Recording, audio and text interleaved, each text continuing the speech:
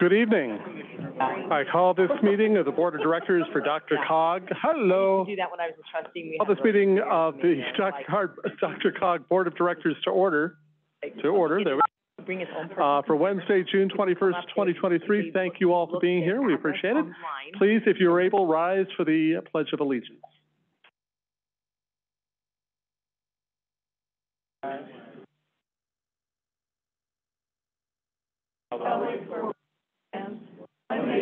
Under God, indivisible, with liberty and for all. Yeah, we did. Oh, you're sitting in an illegal seat. Thank you very much. And with that, we will go to the roll call and introduction of any new members and alternates. Uh, by the way, if you, uh, park downstairs and haven't already grabbed it before you leave, be sure to see Ms. Stevens for the parking voucher. Roll call. All right, thank you so much, Mr. Chair. And here we go. Steve O'Dorisio, Adams County. Lynn Baca, Adams County. Jeff Baker, Arapahoe County. Here? Claire Levy, Boulder County. Here. Austin Ward, City and County of Broomfield. Here. Randy Wheelock, Clear Creek County. George Marlin, Clear Creek County. Nicholas Williams, City and, City and County of Denver. Here. Kevin Flynn, City County of Denver. Right next to you. There you go. George Teal, Douglas County. Across from you. Marie Mornis, Gilpin County. Tracy Kraft-Tharp, Jefferson County. Leslie Dahlkemper, Jefferson County. Lisa Foray, City of Arvada. Bob Pfeiffer, City of Arvada. Here. Dustin Sonic. I got the bar in the back. All right, Dustin Zvonek, uh, City of Aurora. Juan Marcano, City of Aurora. Larry Vittum, Town of Bennett. Roy Spindell, Bennett. David Spellman, Blackhawk. Nicole Speer, Boulder. Margot Ramsden, Bow Mar. Here. Jan Pawlowski, Brighton. Here. Deborah Mulvey, Castle Pines. Tim Dietz, Castle Rock. Jason Gray, Castle Rock. Tammy Maurer, Centennial. Mike Sutherland, Centennial. Here. Todd Williams, Central City. Randy Wheel, Cherry Hills Village. Happy to be here. Craig Hurst, Commerce City. Susan Noble, Commerce City. Catherine Whitman, Dacono. Steve Conklin, Edgewater. Here. Othoniel Sierra, Englewood. Cheryl Wink, Englewood. Ari Harrison, Erie. Sarah Laughlin, Erie. Linda Montoya, Federal Heights. Sonia Jensen, Federal Heights. John Cognac, Firestone. David Whelan, Firestone. Josie Cockrell, Foxfield. Lisa Jones, Foxfield. Lynette Kelsey, Georgetown. Rich Barrows, Georgetown. Rachel Binkley, Glendale. Brian Toucher, Glendale. Paul Hazeman, Golden. George Lantz, Greenwood Village. Dave Kerber, Greenwood Village. Chuck Harmon, Idaho Springs. Here. Stephanie Walton, Lafayette. Brian Wong, Lafayette. Jeslyn Shahrezaei, Lakewood. Here. Stephen Barr, Littleton. Kyle Schlachter, Littleton. Kat Bristow, Lochbuie. Jacqueline White, Lochbuie. Wynne Shaw, Lone Tree. Here. Joan Peck, Longmont. Dietrich Hoffner, Louisville. Deborah Fahey, Louisville. Holly Rogan, Lyons. Greg Edding, Lyons. Colleen Whitlow, Mead. Here. Paul Sutton, Morrison. Adam Way, Morrison. Tom Mahold, Nederland. Richard Kondo, North Glen. Tim Long, Northglenn. John Diak, Parker. Sally Daigle, Sheridan. Neil Shaw, Superior. Here. Jessica Sandgren, Thornton. Here. Sarah Nurmela, Westminster. Here. Bud Starker, Wheat Ridge. Present. Darius Pakbaz, CDOT. Sally Chafee, CDOT. Brian Welch, RTD. Here. All right, and with that, Mr. Chair, we do have a quorum. Thank you very much. Uh, we will start asking for a motion to approve the agenda. I would move that we approve the agenda. Thank you very much. Thank you. Uh, any discussion? All in favor signify by saying aye. Aye. Any opposed, nay? And any abstentions? Great. Uh, thank you. We have an agenda. Report of the chair. Uh, for anybody that doesn't know, the reason we cheered when Bob Pfeiffer was, uh, former chair of DRCOG, who we haven't seen for a while, and is the alternate Parvada, so welcome back.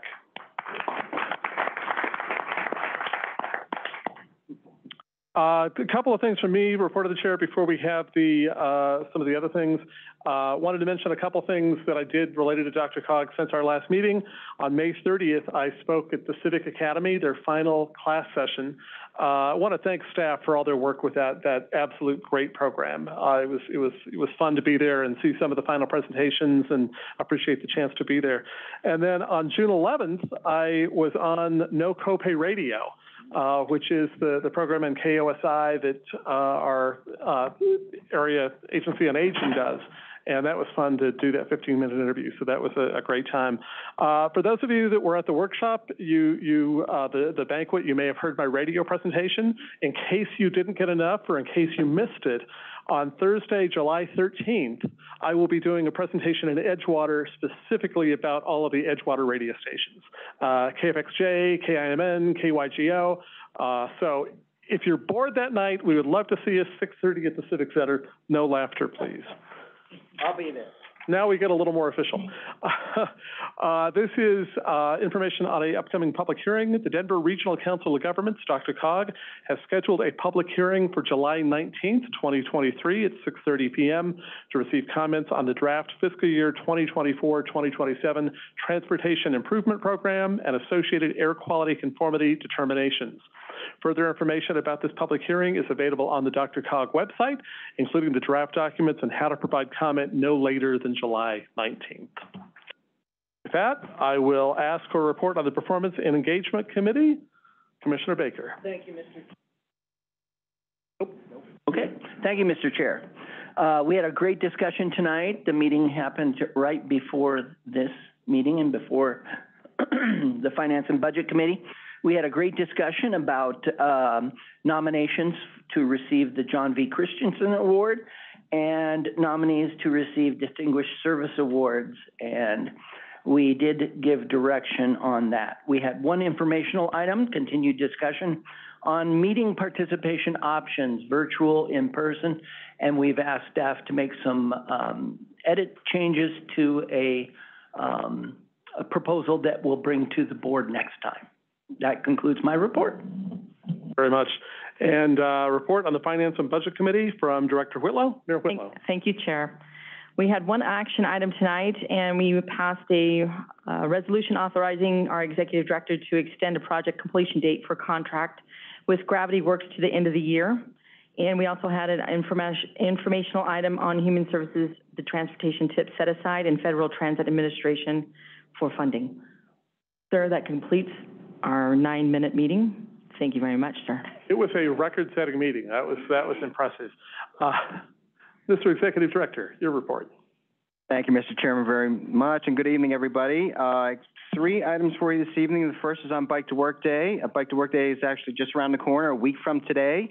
Um, it is our DRCOG's largest event. We're expecting 30, 35,000 people participate in this event. And if you ordered um, apparel from us, free apparel from us, t-shirts, hats, should be sent out to you tomorrow. So hopefully you'll get those in time for the event, and hopefully you'll wear, wear those proudly um, as you're as you're around your jurisdiction. Um, if, uh, you know, we would encourage you to participate wherever you can. That we have a bunch of breakfast stations. There's hundreds throughout the region. If you could, you know, uh, you know, kind of have a look and see where those are. There's a map on our on our uh, website. It's on uh, what is that website name? Uh, there it is, biketoworkday.co. Thank you, Steve, very much. Award celebration, Director um, Baker mentioned uh, that the, the Performance and Engagement Committee has made some recommendations on the John V. Christensen Award, as well as Distinguished Service Awards at their meeting just held recently. Um, so the actual event will be held on October 4th at the Seawell Ballroom. And um, so we're, you know, obviously our team's hard at work in, in getting getting that all together is a big deal, as you can imagine. Um, and, and we're expecting it to be as, as good as it always is. And we really want, uh, uh, you know, we really would appreciate if you all would help us in sponsorship opportunities. If you have any leads with sponsorship, please just pick up the phone and give me a call or send me a text or something. We'll we'll follow through with that. But uh, as you can imagine, it's we try to do this on sponsor, sponsorship dollars, and Um, you know, we're expecting to have to raise probably seventy, eighty thousand this year in order to do this. So if you have any, any leads, please let us know.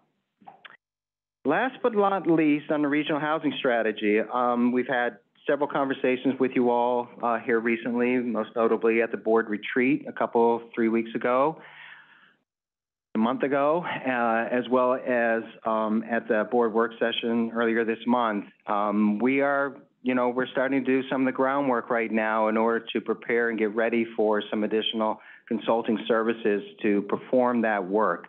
Um, we are anticipating bringing an item to you all next month, uh, for, to approve a unified planning work program, uh, uh, revision that will allow us to use, um, federal monies to do at least a phase of, of that, of that strategy that will get us through the end of the year, and which, just to refresh your memories and those that are newer in the room, um, we, we hope as part of this process that by the end of this year, early in the session, that we have enough information available that we can share and, quite frankly, kind of change the conversation with the legislature about how they can help, uh, local governments in, in, um, this housing crisis that we have. So, um, we're excited about this opportunity and, uh, just, that's just a quick update of where we are, but we're gonna be moving really quickly, quickly, assuming we get board approval next month, so.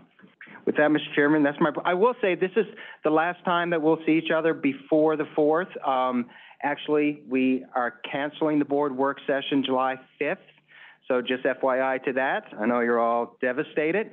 Um, so please have a very joyous celebration on the fourth and be safe. We'll see you soon. very much. Um, I want to amplify the, the talk about the awards briefly and the sponsorships. If your municipalities have the ability to sponsor, that's awesome. If you know businesses that, that have an interest in, in sponsoring, you know, those are just absolutely huge. So, uh, would absolutely encourage you to, to think about that. Yeah, I'm just wondering if you have like a sponsorship packet that you could share with us that we can, um, help circulate. Yes, thank you very much for that question. And I was remiss in mentioning that. We will be sending out a packet to the board directors next week um, that will hopefully serve that purpose. It- it Definitely encourage that. And then, uh, very much encourage you to put October fourth on your calendar. Uh, there will not be a work session that night. That's normally a work session night. And instead, there will be the, the awards, which is really one of our, our key events. And at least historically, board directors are complimentary in attending that, They will, pending and plus one. and plus one. So would just really encourage you to, to make that a part of your planning for, uh, uh, the upcoming months. So thank you very much. Uh, we will move into public comment. We have up to forty-five minutes allocated now for public comment, and each speaker will be limited to three minutes. If there are additional requests from the public to address the board, time will be allocated at the end of the meeting to complete public comment. The chair requests that there be no public comment on issues for which a prior public hearing has been held before this board. Consent and action items will begin immediately after the last speaker. Do we have any public comment?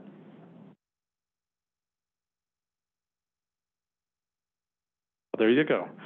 Uh, we will move ahead to the consent agenda. Uh, do I have a motion to approve the consent agenda, which includes the summary of the May seventeenth, twenty twenty-three meeting, and also the fiscal year 2022-2025 Transportation Improvement Plan tip amendments, as seen in your packet? I'll move, Chair.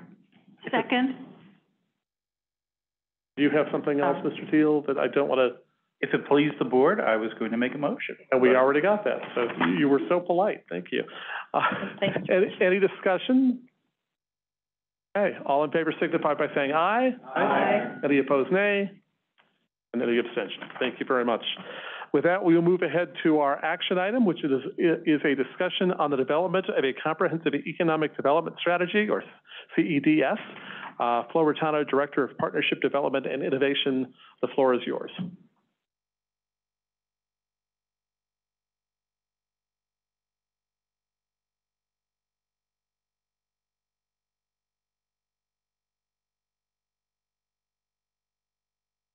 Well, thank you, Mr. Chair. Um, I will apologize to those of you who were at the board work session. This is going to be a little bit of a repeat of material, but hopefully it's a little fresh. And tonight you're getting the Cliff Notes version of that. But um, did want to to provide some background on on um, the uh, the the CEDS process that we're we're, um, talk, about to talk about here. So, this is the timeline, and you can see that this is a, uh, very aggressive timeline. Um, we are proposing to have the CEDS essentially written by the end of this year so that when we get into the new year, we can have a, a true celebration of it. Um, and, and, and we're doing that to make sure that we're good partners with the Office of Economic Development and International Trade, who is working to write a statewide CEDS and actually have asked us to, to uh, undertake this, this venture. It does have advantages to us, um, and, and, and, and, and I'll explain that in, in a little bit, but um, this, this is a pretty aggressive uh, timeline if you, if you look at it. Well, let's talk a little bit about what's in a CEDS. And, and it really is an exercise in engagement with both the governance team and the stakeholders, and, and, and those two groups will play very different roles in, in, in the process. The summary background is really a, a snapshot in time of where the region's economy currently is, and that, that includes things, things like, you know, what are the economic drivers and, and uh, what, what are the primary industry clusters, demographics, and, and, and it's all about the data. And that's why on the timeline you saw that the data intelligence gathering occurs pretty early in, in, in, in the process. Um, the SWOT analysis and the strategic action plan um, is where the stakeholders become very important in the, in the process and the conversation. And that evaluation framework is largely developed by the governance team, the leadership team um, for this, the CEDS process. And, and, and that evaluation framework is important because it's how we measure success going forward. How do, know, how do we know that, that this document and the exercise that we un undertake is having, is making a difference? So that's, that's a very important element of it. Well, this is just a, a brief summary of, of uh, what the various sections are, are all about. And for the most part, they're pretty straightforward there is this new thing called economic resilience, and, and, and really what that is all about. It's, it's the ability to recover quickly from a shock, the ability to withstand a shock, and the ability to avoid a shock altogether. And, and that's all bundled under something called economic resist, resilience, which is a relatively new concept by the, by the EDA. And that includes both a steady state and responsive um, resilience initiatives. And, and so an example of a steady state economic resilience initiative would be something like economic diversification, because that's intended to, to avoid a shock to, to the system, a shock to the economy, whereas the, the um, responsive initiative would be something more like something you put in place to, to uh, address uh, the rapid recovery of it. And largely technology. It might be broadband. It could be smart grid, microgrid technology, those those types of things. So that's that's what the economic resilience is is all about. Well, as you can imagine, a CEDS actually gets ultimately approved by the Economic Development Administration, part of the Department of Commerce at, at, at the U.S. level. And, and it comes with their priorities, and these are their seven priorities. And, and they ask that the CEDS examine all seven. Now, the CEDS doesn't have to include all seven with great detail and a lot of initiatives and a lot of, lot of objectives uh, to, to address them, but they do want the process to at least look at, at each of them. Um, there are, of course, certain elements that we know that the EDA has as an emphasis, and, and those are equity, workforce development, and recovery and resilience. So those really need to be fully fleshed out in, in, in, in our, our CEDS for, for the DRCOG region. Okay, I mentioned governance and, and, and a strategy team and leadership team. Those are all the same terms that EDA uses interchangeably for the responsible adults in the room. Um, and it's an important group of people, right? Um, be, because that leadership really is charged with the overall development of the CEDS, as well as helping identify that evaluation framework. So they have a really important job to play, and it's it's really involvement from start to finish. And, and now this list is illustrative, it's not inclusive. And, and, um, as, as you can anticipate, the EDA also says who they want at the table, right? So we have to kind of incorporate those rules as well. But the, um, this body will actually shape the CEDS, really work with the final draft of the CEDS in preparation of returning that final draft to this body. It will be the DRCOG Board of Directors that approves the final document for, for the CEDS. And, and, um, so that's kind of an important role as well. So what we'd like, ideally, is for three or four of you to kind of to the fore tonight to volunteer to be on the leadership team. Um, and, and, and ideally, that will give us some geographic coverage as well as size of municipality coverage or county coverage. So, um, you know, we're not gonna, we're not gonna point to people, but you know who you are that we would like to have work with us if you're willing to work. You've got to put up with me for six months, basically, what that means. Okay? Stakeholders, that's a different group. They have a very defined role to play in the SWOT analysis and, and then identifying the strategic plan elements as well. So those are two really key roles.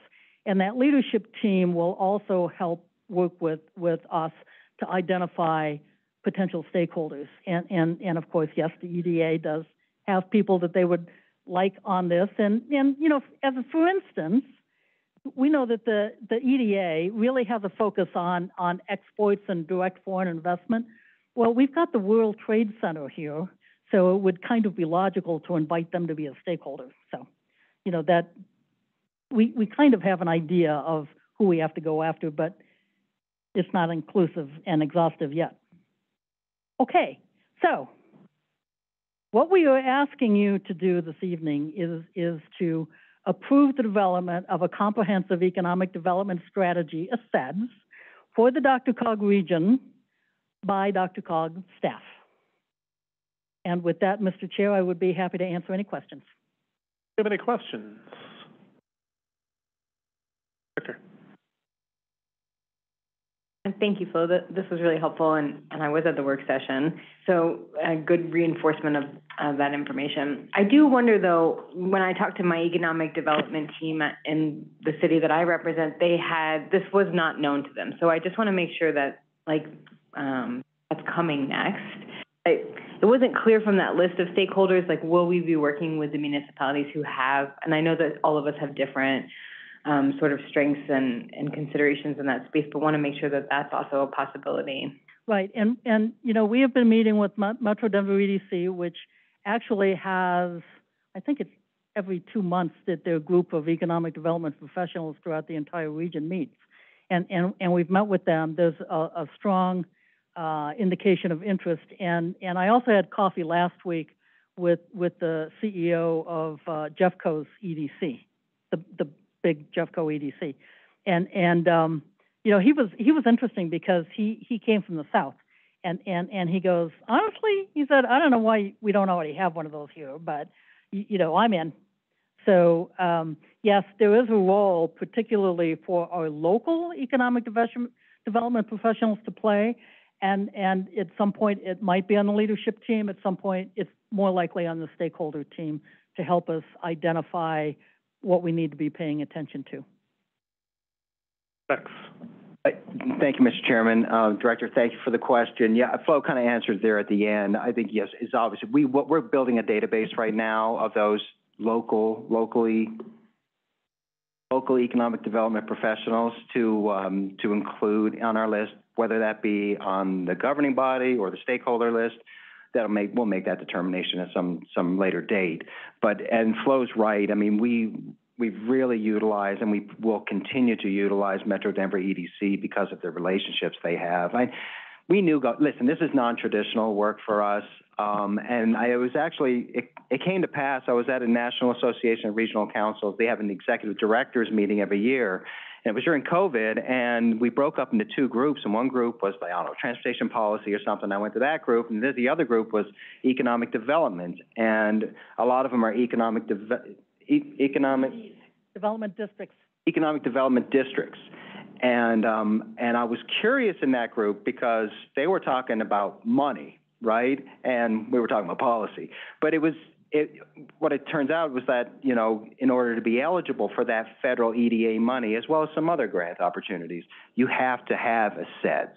And there's only certain, uh, agencies that can do that. You have to be a public sector agency to do that.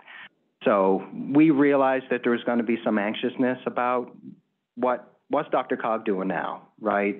And I think through the Metro Denver EDC, we've been able to, you know, at least provide some comfort. And other conversations we've had with the economic development professionals that what we're doing, what we do well is we facilitate, right? We're not, we don't want to get in anybody's kitchen. You all do all that economic development stuff. What we're trying to do is get you to the table, come up with a strategic plan. And I think they, they understand the distinction. So, um, this time last year, I wouldn't say that, uh, I wouldn't feel as comfortable about it as what I do now. So, but, but we will, we'll be reaching out to all, all the local, locally affected, uh, And, development and professionals. as well, we know that the COVID-19, uh, timeout, uh, expires at the end of this year because this region actually has benefited from EDA funding throughout the COVID period, but that ends with the start of the new year. So for us to be able, for our communities, not us, not DRCOG, but for our communities to be able to access EDA funding for projects, um, going forward, we, we have to have an approved CEDS in place. And it's the CEDS, actually, that get, is the golden ticket, right? The EDD designation, you know, it doesn't matter, but it's, it's the CEDS that is the, the controlling document. Dr. Thank you of this. that- we Already picked the, that you're hoping, Um, we're open to suggestions. You can email Flo. So, yeah, so- so, so listen, so the board has a very specific role, like you ultimately will approve the sets, Yes. right? Um, but also, as part of the governing structure, we would like to, if there were some volunteers to step up to serve on the governing committee, we would welcome that as well. You don't have to shout it out tonight if you don't want to, um, but it sounds like Director Sandgren is definitely interested. No, and shouting, so that's great. But if you are interested, we'd, you know, we'd be, you know, just shoot myself or Flo an email. Dr. Yeah. Pfeiffer? We said welcome back yet? Yeah, you have. Actually, this is, um, you know, I'm late to this party, but, uh, I think this is great, this direction. And if this is new to the elements of what we're doing, I think it, it, it, the fabric of transportation and economic development go together. I mean, customers go to our businesses. How do you think they get there? How to get commerce there? It makes sense. We should have been here a lot longer, you know, maybe when he was chair, or he was chair. but not when I was chair. But this is more in, in tune than elevator inspections or anything else we did in the past. So if anyone's been around a while, I think this fits more in the fabric of it. So I, I applaud uh, the. I don't know who came up with this idea, if it was staff or this group. Oh, It's Doug's fault. okay. It's Doug's fault. We'll wait for the results, but it, this is great. I mean, this is something that we should be doing. I, I, I, I'm supportive of it. I'm, looks like we're doing an action on this, but, uh, I just wanted to share some comments, being a fresh eyes in here. I think this is awesome, and this, this, this better aligns with DRCOG and, and the region. Yeah, we have all economic development groups, and I'm, I know DRCOG will engage our teams and, and get us where we need to get to. Um, it's a big world out there in the economic development world, so, and we're all fighting over, you know, having those tax dollars in our communities, but you'll, you'll tread lightly through this and, and we'll get to a happy place. So I'm fully supportive of this. Thank you. Other questions or comments? I don't think,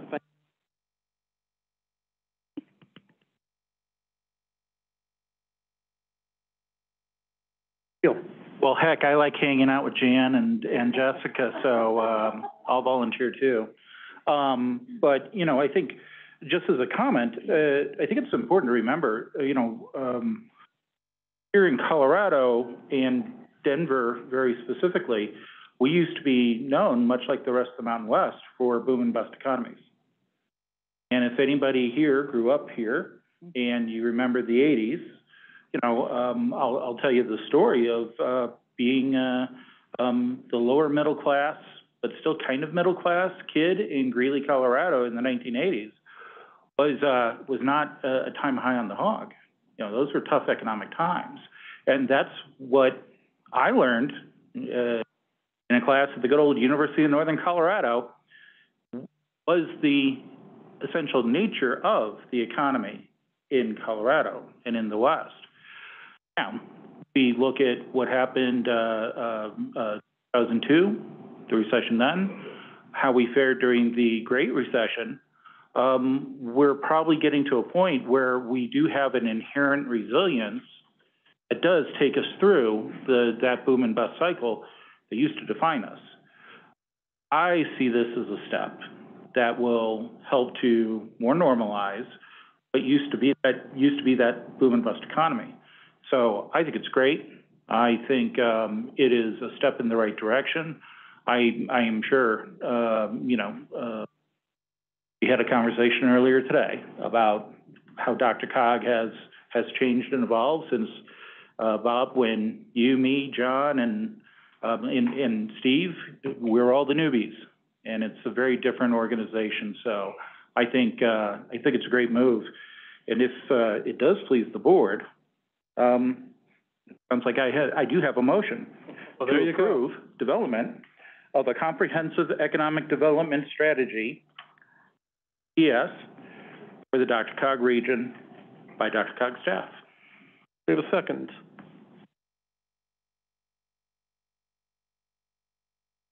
We have a motion and a second. Any further discussion before we vote? Seeing none, all in favor signify by saying aye. Aye. The opposed, nay. And any abstentions? Great, thank you very much. Thank you for the presentation, we appreciate that. Moving ahead to informational briefings. Uh, First of all, we will have the RTD Northwest Rail Peak Service Study, and I'll turn it over to Jacob Riger, uh, Tra- Manager, Transportation Planning and Operations, to introduce our guest speaker.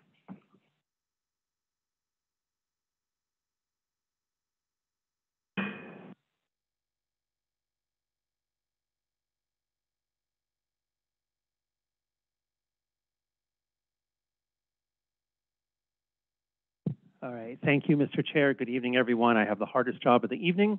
Um, but we did want to give you an update on the RTD, uh, Northwest Rail Peak Service Study. Um, RTD and stakeholders have been working on this project for about a year now.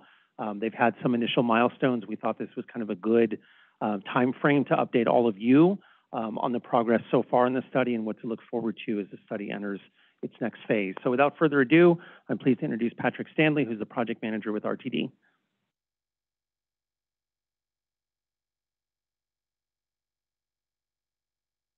Thank you, Jacob. Um, Chair, who's not here, and, uh, Director, yeah, Chair. Uh, thank you for the opportunity to, uh, to, uh, provide an update, uh, with you today. It feels like just yesterday that I was here. Um, for those that don't know, inside joke, I was here just yesterday, so. Um, but yeah, thank you for the opportunity. Um, we do want to provide a, an update on where we are in the Northwest Rail. Um, obviously, this is a study that RTD's been working on, uh, or kind of a, a project, I guess, that RTD's been working on for quite some time. Um, so without further ado, I'll jump into it here. Um, wanted to start uh, really back at the beginning, an overview of what the Northwest Rail is. Um, so Northwest Rail was passed in 2004 as part of the uh, FasTracks uh, vote. Um, it is a 42-mile corridor that runs between Denver Union Station and Longmont.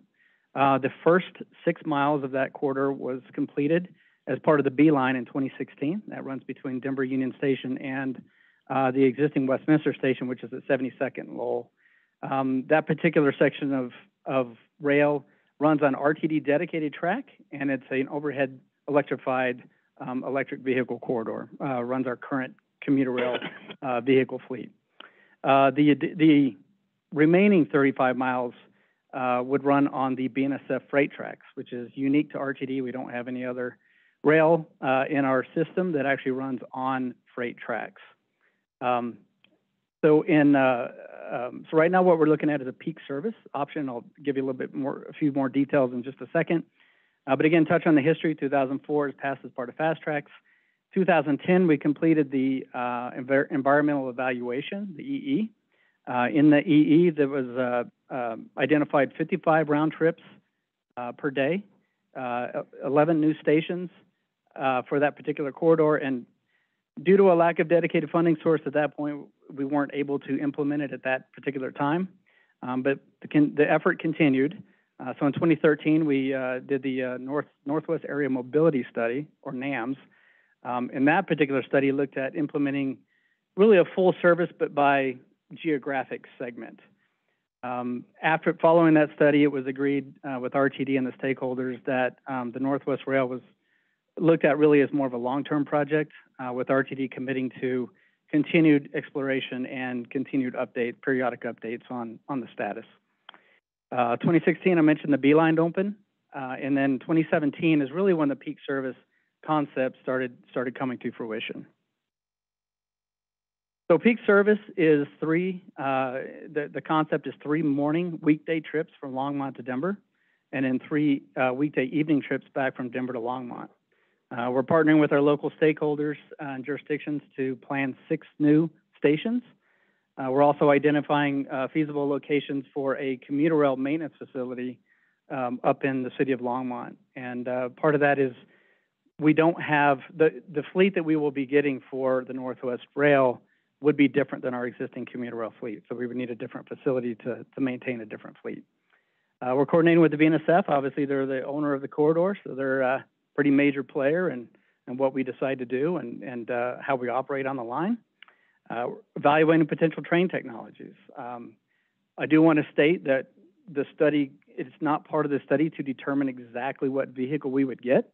Uh, what we're doing is we're evaluating the different technologies that are there, looking at the market, um, identifying what type of vehicles are available that actually meet our operational requirements. We're, I would, to expand on that just a little bit, the only technology that we're really not looking at is an overhead electrified uh, with the OCS wires above, and that's that's really due to the fact that we have some clearance issues. The BNSF requires a certain height above the rail, and we have some clearance issues with some of the, uh, the structures um, along the corridor.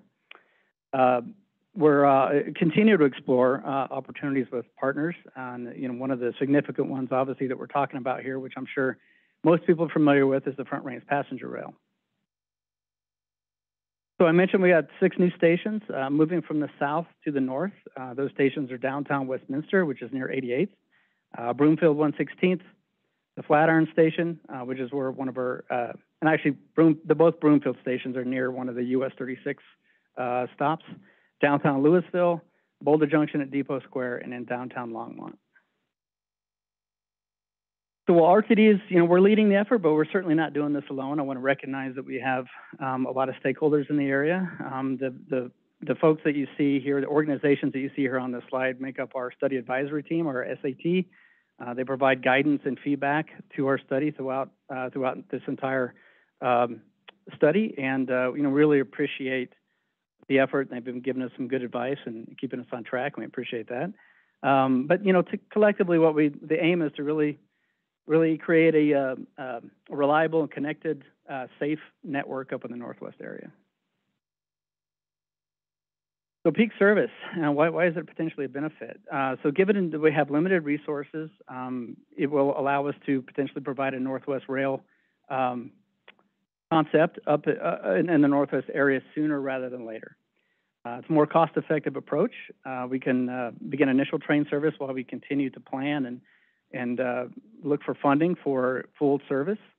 Uh, it accomplishes a lot of track and safety upgrades, things like the positive train control, the PTC, which I'm probably are familiar if you follow the news from the A line. Um, and uh, you know, just track safety upgrades in general. That running a freight is different than running a commuter rail.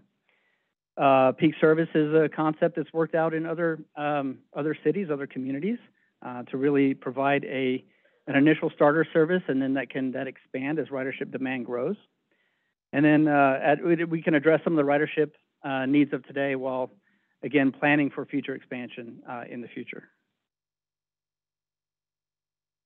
So there is no start date identified right now for the Northwest Rail. Uh, right now, this is a feasibility study. What we're looking to try to identify is what type of infrastructure and what is needed to operate on the BNSF tracks, um, and what, what would it take to run a peak service along the corridor. Uh, we're trying to identify what we refer to as a common set of facts, and that's, you know, how much does it cost? What are the operational costs? What are the construction costs, capital costs, um, lease costs, uh, potentially with the BNSF, Uh, what are, what are, what does our ridership look like? What are the benefits, impacts, uh, and what kind of strategic partnerships can we, can we look at, uh, for a, uh, peak service, concept? Uh, of course, during this whole piece also, we're, we're trying to identify what type of potential funding sources are available to, uh, move the needle. So the study schedule, I, I'll, uh, go through this and I'll give a little caveat here at the end for everybody, but, um, this, this, what you see here shows really kind of a conclusion of our consultant team towards the fall later on this year. We've always anticipated that really RTD would probably continue a little bit into next year before we kind of finalize the actual report. Um, peak service, uh, milestones one, and- it's a five milestone process. Milestones one and two are really fact-finding. Uh, so what, what is peak service? What, what has happened out in the community since 2010? Um, you know, we have plenty of sites that used to be blank or open sites that, uh, we had a park and ride plan for that now have a six-story building on it. So, you know, we need to identify what is, what are the current conditions in the community today? What do we need to plan for? And what, how does that impact, uh, what we want to do for peak service? Um, right now, we're in the, in milestone three, really towards the tail end of milestone three, which is identifying what we call the base configuration, which is really, you know, what does it take? What is the infrastructure needed for the peak service as it was passed by our board, which is the three trips, the six stations, um, you know, the, their sidings associated with the BNSF, uh, where they, they will basically pull over onto a siding track. There's actually four that they've identified, and that provides RTD a, uh, the priority operations during the day, so we won't be stuck behind a freight train or, or uh, have any conflicts. Um, and then from there, milestones four and five, uh, that's really start looking at serv- potential service options, uh, potential partnerships that we might have, and, uh, you know, what, what kind of options and strategies and next steps, uh, you know, can we, can we move forward with? The one caveat I wanted to say a little bit is that it took us a little bit longer to get the BNSF agreement in place than what we were hoping to do. Um, so that, that time schedule for the BNSF runs out a little bit longer than what's shown on this chart. So right now, our team, along with our consultant team and our stakeholders, are evaluating our schedule now to make sure that we can capture the common set of facts and all the facts associated with the costs and operational implications with the BNSF. Um, those are obviously key portions of our study. Um, so right now we're working at that, so kind of stay tuned. Um, the, the schedule will be updated uh, not too long from now. So I wanted to touch base real quick on the community outreach. We did our last big open houses were actually in uh, end of January in Boulder, January 31st, and then we had a February 2nd Westminster open house. And I kind of wanted to go through some of the results and what we we heard from those meetings. So we had a, these were in-person meetings that we had. Um, collectively between the two, we had about a little less than 200 total attendees um, come to those meetings. Um, we had, you know, less than 30 actual comment cards filled out and returned to us in those meetings themselves, but we provided informations and QR codes and really encouraged um, the participants to take the on, go to the on, on our, uh, our webpage, there was an online meeting that, that ran from just before the public open houses to about two weeks after the public open houses. And in that, we've got, we got about 33, what I would call engaged visits, 3,300, sorry, way more than 33. Uh, 3,300 uh, kind of engaged views on the website where people actually went in and started clicking around and reading information and, and uh, doing surveys and that uh, and whatnot. Uh, we'd had about 100, 100, a little less than 175 uh, completed surveys. And then, uh, um, you know, on the uh, RTD webpage itself, we had about 350 or so comments and email signups. So what did we hear? so right after the open houses, we sat down with our stakeholder group, uh, the RTD group and our consultant team. We said, all right, so we don't have all the stuff compiled yet, but, but what do we think we heard from the, from the community? And in general, I'd say there was some optimism. I think uh, I'd say kind of a reserved excitement, uh, you know, from a lot of folks that we were still continuing to look at the Northwest Rail and we were trying to move this forward. Um, we had uh, a number of uh, comments about a potential reverse commute. Uh, we had some comments about uh, potential additional stations, particularly at Gunbarrel and Niwot. And a lot of people were curious about what potential partnerships might look like with the uh, Front Range Passenger Rail and BNSF. Cost differential between peak service and full service was a was a question that came up often.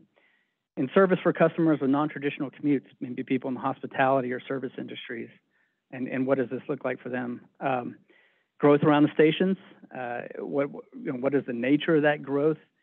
Are there any potential stresses on the existing infrastructure? Uh, you know, what is, what is the, um, existing conditions? How do they accommodate, uh, stations? And then one of the big ones we heard is, you know, what are the next steps, uh, if the Northwest Rail turns out to be, is determined to be infeasible, uh, for the, um, for the service? So then we took the actual comments, we took it, you know, later on, a couple weeks later, we were able, able to compile the actual comments that we got. And a lot of similarities, um, basically the same, same kind of general, um, optimism, uh, for the most part, uh, for, for people on the continuation of RTD to, to, to analyze and keep studying, uh, the Northwest Rail to see if we could find a solution.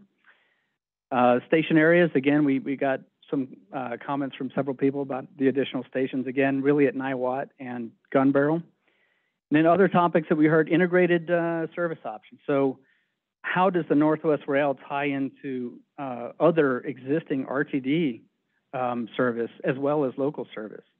Are there any concerns about dropping some potential service because of the Northwest Rail? Land use, again, that's primarily around station, but, um, you know, there's uh, a lot of concern there about, am I gonna be pushed out of my neighborhood, uh, when, when development happens around one of the stations? And then we did hear a fair amount about construction, but obviously we're in a study phase right now, so that's a little bit further down the road, but obviously if this does move into the next phase and it were to move forward, that is something we would need to be cognizant of and, uh, and accommodate. So one of the survey questions that we asked was, you know, provide us with some information about maybe why a service wouldn't work for you, a peak service wouldn't work for you. And really the comments that we got were primarily about kind of the nature of peak service itself and the, and the somewhat limited runs for peak service. So need weekend service, um, need uh, midday service and evening service, and some return trips, really kind of the higher pieces.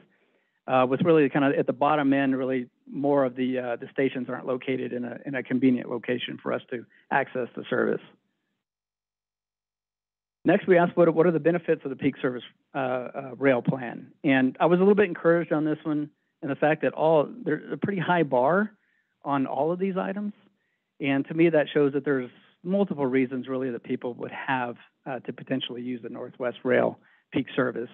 Um, and you know that the number one that I, is probably not a shock to anybody is avoid being stuck in traffic, uh, reduce vehicle emissions right up there.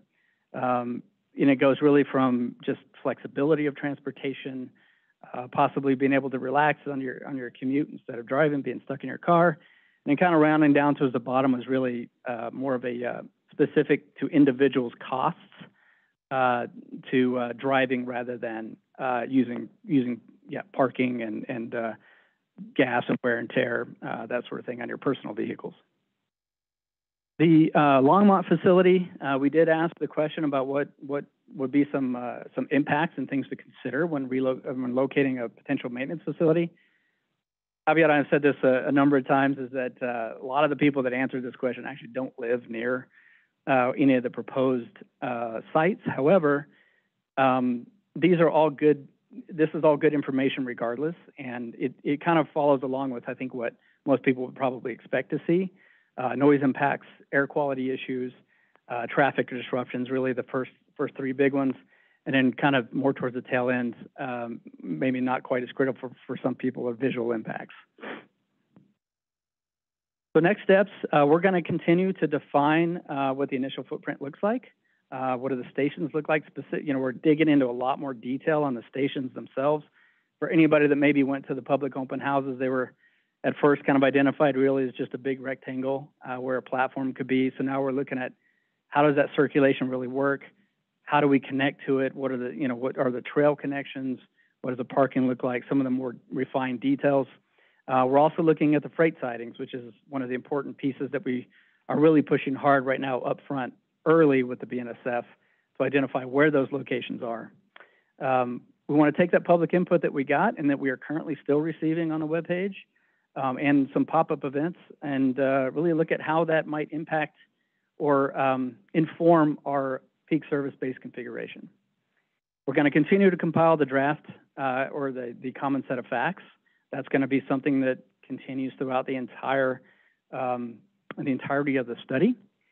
And then, uh, we did do an update to the board of directors in April. Uh, our next one, we're looking at late summer, early fall for another update to the board of directors.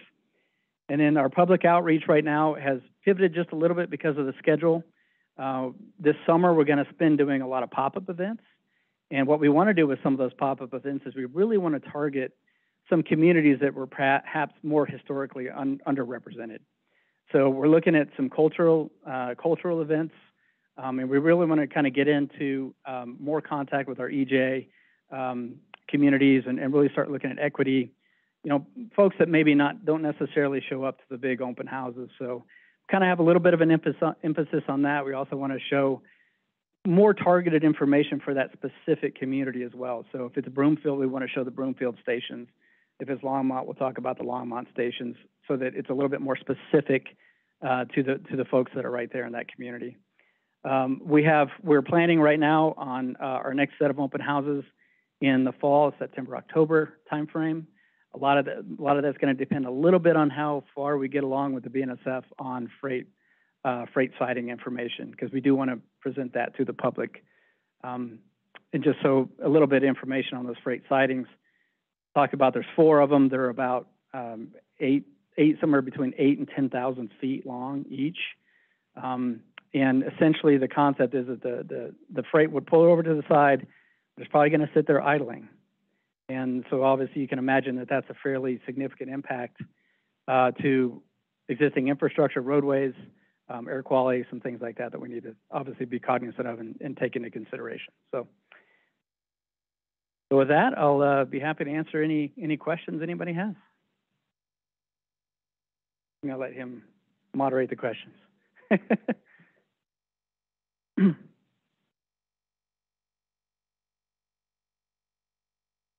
Okay, oh, it does work when I talk, yeah. Um, Claire Levy, Boulder County. So I have a couple of questions, if you don't mind, can I ask a few? I, I was very interested to see, and I think you glossed over this, um, the slide about the environmental analysis in 2010. And um, in addition to the recommendation of 11 new stations, there was a recommendation for a second track alongside the BNSF uh, freight track. Um, is that still part of the peak rail study or still part of the proposal? Very good question, I, and I should have uh, spent a little more time on that. Apologies. Um, it is it is not necessarily. What, a reason why we're looking at siding locations because we understand that it's going to be primarily a single track, and that's one of the reasons why it's an it's a one directional in the morning and a one direction return back in the evening, is we don't have the the bypass uh, meet points where you can actually bypass around one train, you know, the um, two two different directions of track right now in the concept. And um, the idea of the peak service is to really provide a more modest um, concept for, for the infrastructure so that we can get the starter service and kind of get our foot in the door, get something moving that we can expand on in the future. So we want to plan for where that double tracking will go in the future. So when we lay out where the BNSF sidings might go and where station sightings might go. Hopefully, at that point, it's just a matter of connecting those dots for a full double tracking. So if I hear you correctly, double tracking is not off the table, it's just not part of the peak rail proposal. It's not part of the peak rail. Yeah, which I understood it wasn't, but I, I, this is the first I've heard that double tracking is still under consideration in general. So that's, that's good to hear. I hope it stays on the table. I also just wanted to mention, um, so along with uh, Director Mulvey, we're both directors uh, on the Front Range Passenger Rail District. And we have been looking at the implications of that and how can we partner with RTD, but I just want to I just want to, uh, I guess, caution uh, before we get too exuberant about all this potential that um, Front Range Passenger Rail District hasn't chosen a route and uh, we have to go to the voters and get our our own tax approved. So we're an, an entity, we're a body that exists, we're at the table, and we're happy to be at the table, but we've got a long way to go before we can actually start talking about that partnership in, in reality. Um, and then, and uh, just to, Yeah. we, we have pretty regular meetings with Andy Karsian, Sure. uh, the CDOT team. And really, at this point, we're, um, as you're, as you're aware, their, uh, service development plan is not exactly tracking with ours. So they're, they're, you know, we're, we know more about, I think, what we want to do than, than they do at, at this point. Um, so right now, we're just, we're trying to stay on top of it. We're trying to identify what opportunities might be there. Um, we understand all that. We know that this is not necessarily a set in stone alignment for them. Um, so we are proceeding. One of the things that we need to do is determine what our needs are for running peak service with, maybe without Front Range passenger rail there. And then we can hopefully identify what potentials might be there if we were to join, join in together. Yeah, and to me, the, well, two important things about that. One is, of course, I understand you know that. Um, you know, the public, if they're seeing these presentations, needs to know that as well. But, um, but Front Range Passenger Rail is an intercity passenger rail service, may have some, um, negotiating advantages with BNSF that, uh, I don't know if there's, maybe that's too many variables to try to factor into, into the peak rail study uh, you know, BNSF wouldn't want to get, deal with a hypothetical on that if, if Amtrak were the service operator, but, you know, there, there may be some way to figure that out. But I, the last question I have is on, um, the delay in getting the cost information from BNSF. And I, I may have missed it, but did you indicate how much that is going to delay the schedule on completion of the study? The, uh, well, it's, um, we're still kind of looking at that exactly. So we have, the, the BNSF, the way our scope is broken out, they have basically three month deliverables. And I think it's at six months, and we just, just kind of kicked it off within the last month or so. Uh, got the contract and notice to proceed, uh, with them squared away. Um, we'll have an initial rough order magnitude cost, but it won't be the final.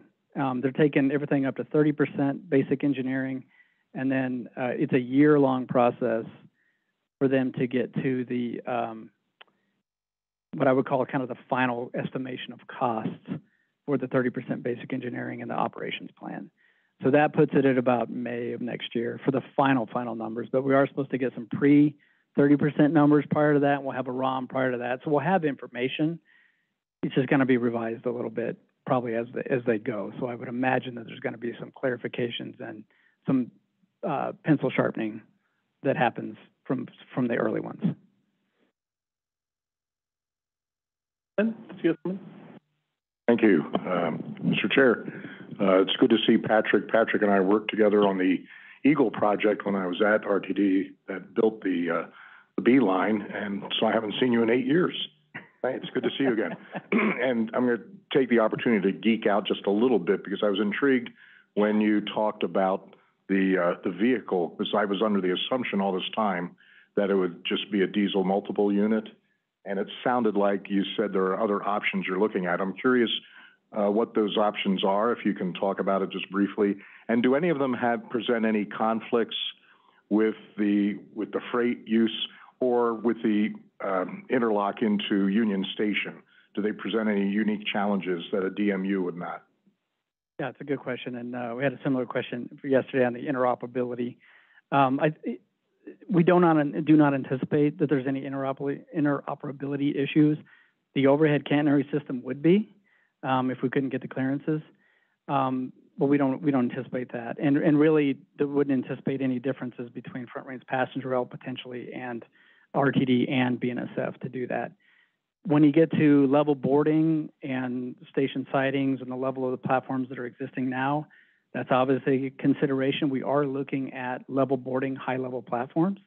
Uh, we believe that that is the best option from a accessibility standpoint, an equity standpoint, and long-term functionality for RTD. Um, the uh, second part of your question, or the first part of your question, I guess I answered the second first, um, is the, the vehicle technologies. So I would say this is what the way I look at this is we're not we don't want to eliminate anything. There's there's a lot of technology that's developing right now, hydrogen, battery, um, in particular. Those technologies may not quite be there now.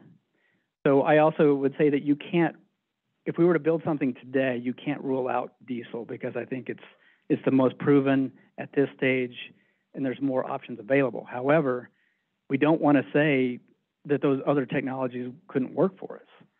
Um, and there are in, particular in Europe, uh, you know, there are some test, uh, trains on, on tracks. Right now, there's one in California that just started up that was hydrogen, or, that's coming, is del- it's being delivered. Um, I think they've been delivered or they're in testing right now, if I remember right, Stadler, Stadler train. Um, so those could be there, you know, at the, at the time this, this is implemented. So, again, we don't want to say that those aren't something that could happen, because they could, they could. So, I, hopefully that answers your question, Kevin. Good seeing you again. Dr. Nurmela? Thank you for the overview. Um, I just had a couple of questions on really your next steps. Um, one is on the design of the stations. Um, are you working with the, with each city to do that? I, We are, we are. We're working with our, with our SAT members and whoever it is that they invite to attend those coordination meetings where we present that. Um, so there, a lot of times there's a lot of staff, a lot of technical staff that also sits in on it and planning staff that kind of provides some feedback. So, um, we, we talked to them early on to talk about kind of where the stations are located, where the platform might be. And now we're refining that. And we are talking, we are talk, we have reached out and had several meetings with, with, um, all the, all the jurisdictions to go through that. Still Okay. a work in progress. We're still working on it. Um, but, but we are. okay, thank you. Um, the, for the common set of facts that you're developing, is that also going to integrate, um, collecting data on the reverse commute potential or just We're, we're gonna look at, we're gonna look at that a little bit, a little bit. Um, I don't know that we're gonna, we're not probably necessarily gonna model that. I think we're really looking at those additional stations and reverse commute is really probably something that is a next stage. It's a future expansion, uh, type service. Uh, we will look at it a little bit. I don't know exactly what that's gonna look like just yet, but, um, it, it, it, it's a little problematic, I guess, on the, on the whole concept because we don't have a place to really pass the trains um, without building additional sidings and additional track. And again, trying to go back to our goal of trying to, trying to keep our infrastructure impacts to a minimal while still, still providing a safe and reliable, equitable service to the area. Um, we are kind of concentrating really on the peak service, three trips in, three trips out. Right, and I, I remember when you came to the city of Westminster to, um, to talk to us, uh, I guess it was a few months ago, I was just, um, at that time asking about looking at the Flatiron Flyer service and just have a better understanding of what the actual commute trends are, and if this peak service into Denver is actually serving the right need, because ultimately, if we're using this peak service to get ridership, to potentially get more funding. Um, I just, it, it would be good to know that this is actually something that people are going to take and use. I remember that question. Um, and I, and I did reach out, and I actually do have, I should, uh, uh, reach, I'll reach out to you and, and provide some of that information. I did, we did ask for that afterwards to kind of get a better idea of what that ridership looks like now, uh, for the Flatiron Flyer. But, you know, the, the way we look at too, and, and I guess in our perspective, is it's really flexibility of commuting options at this point, providing some, just really more mobility options in general uh, for folks to use. So we, we kind of see that it could be something that maybe somebody takes the train in in the morning, and maybe they take the Flatiron Flyer back, or vice versa. So they can use, they're not restricted in necessarily one mode. Um, so we're kind of looking at it in that, in that light.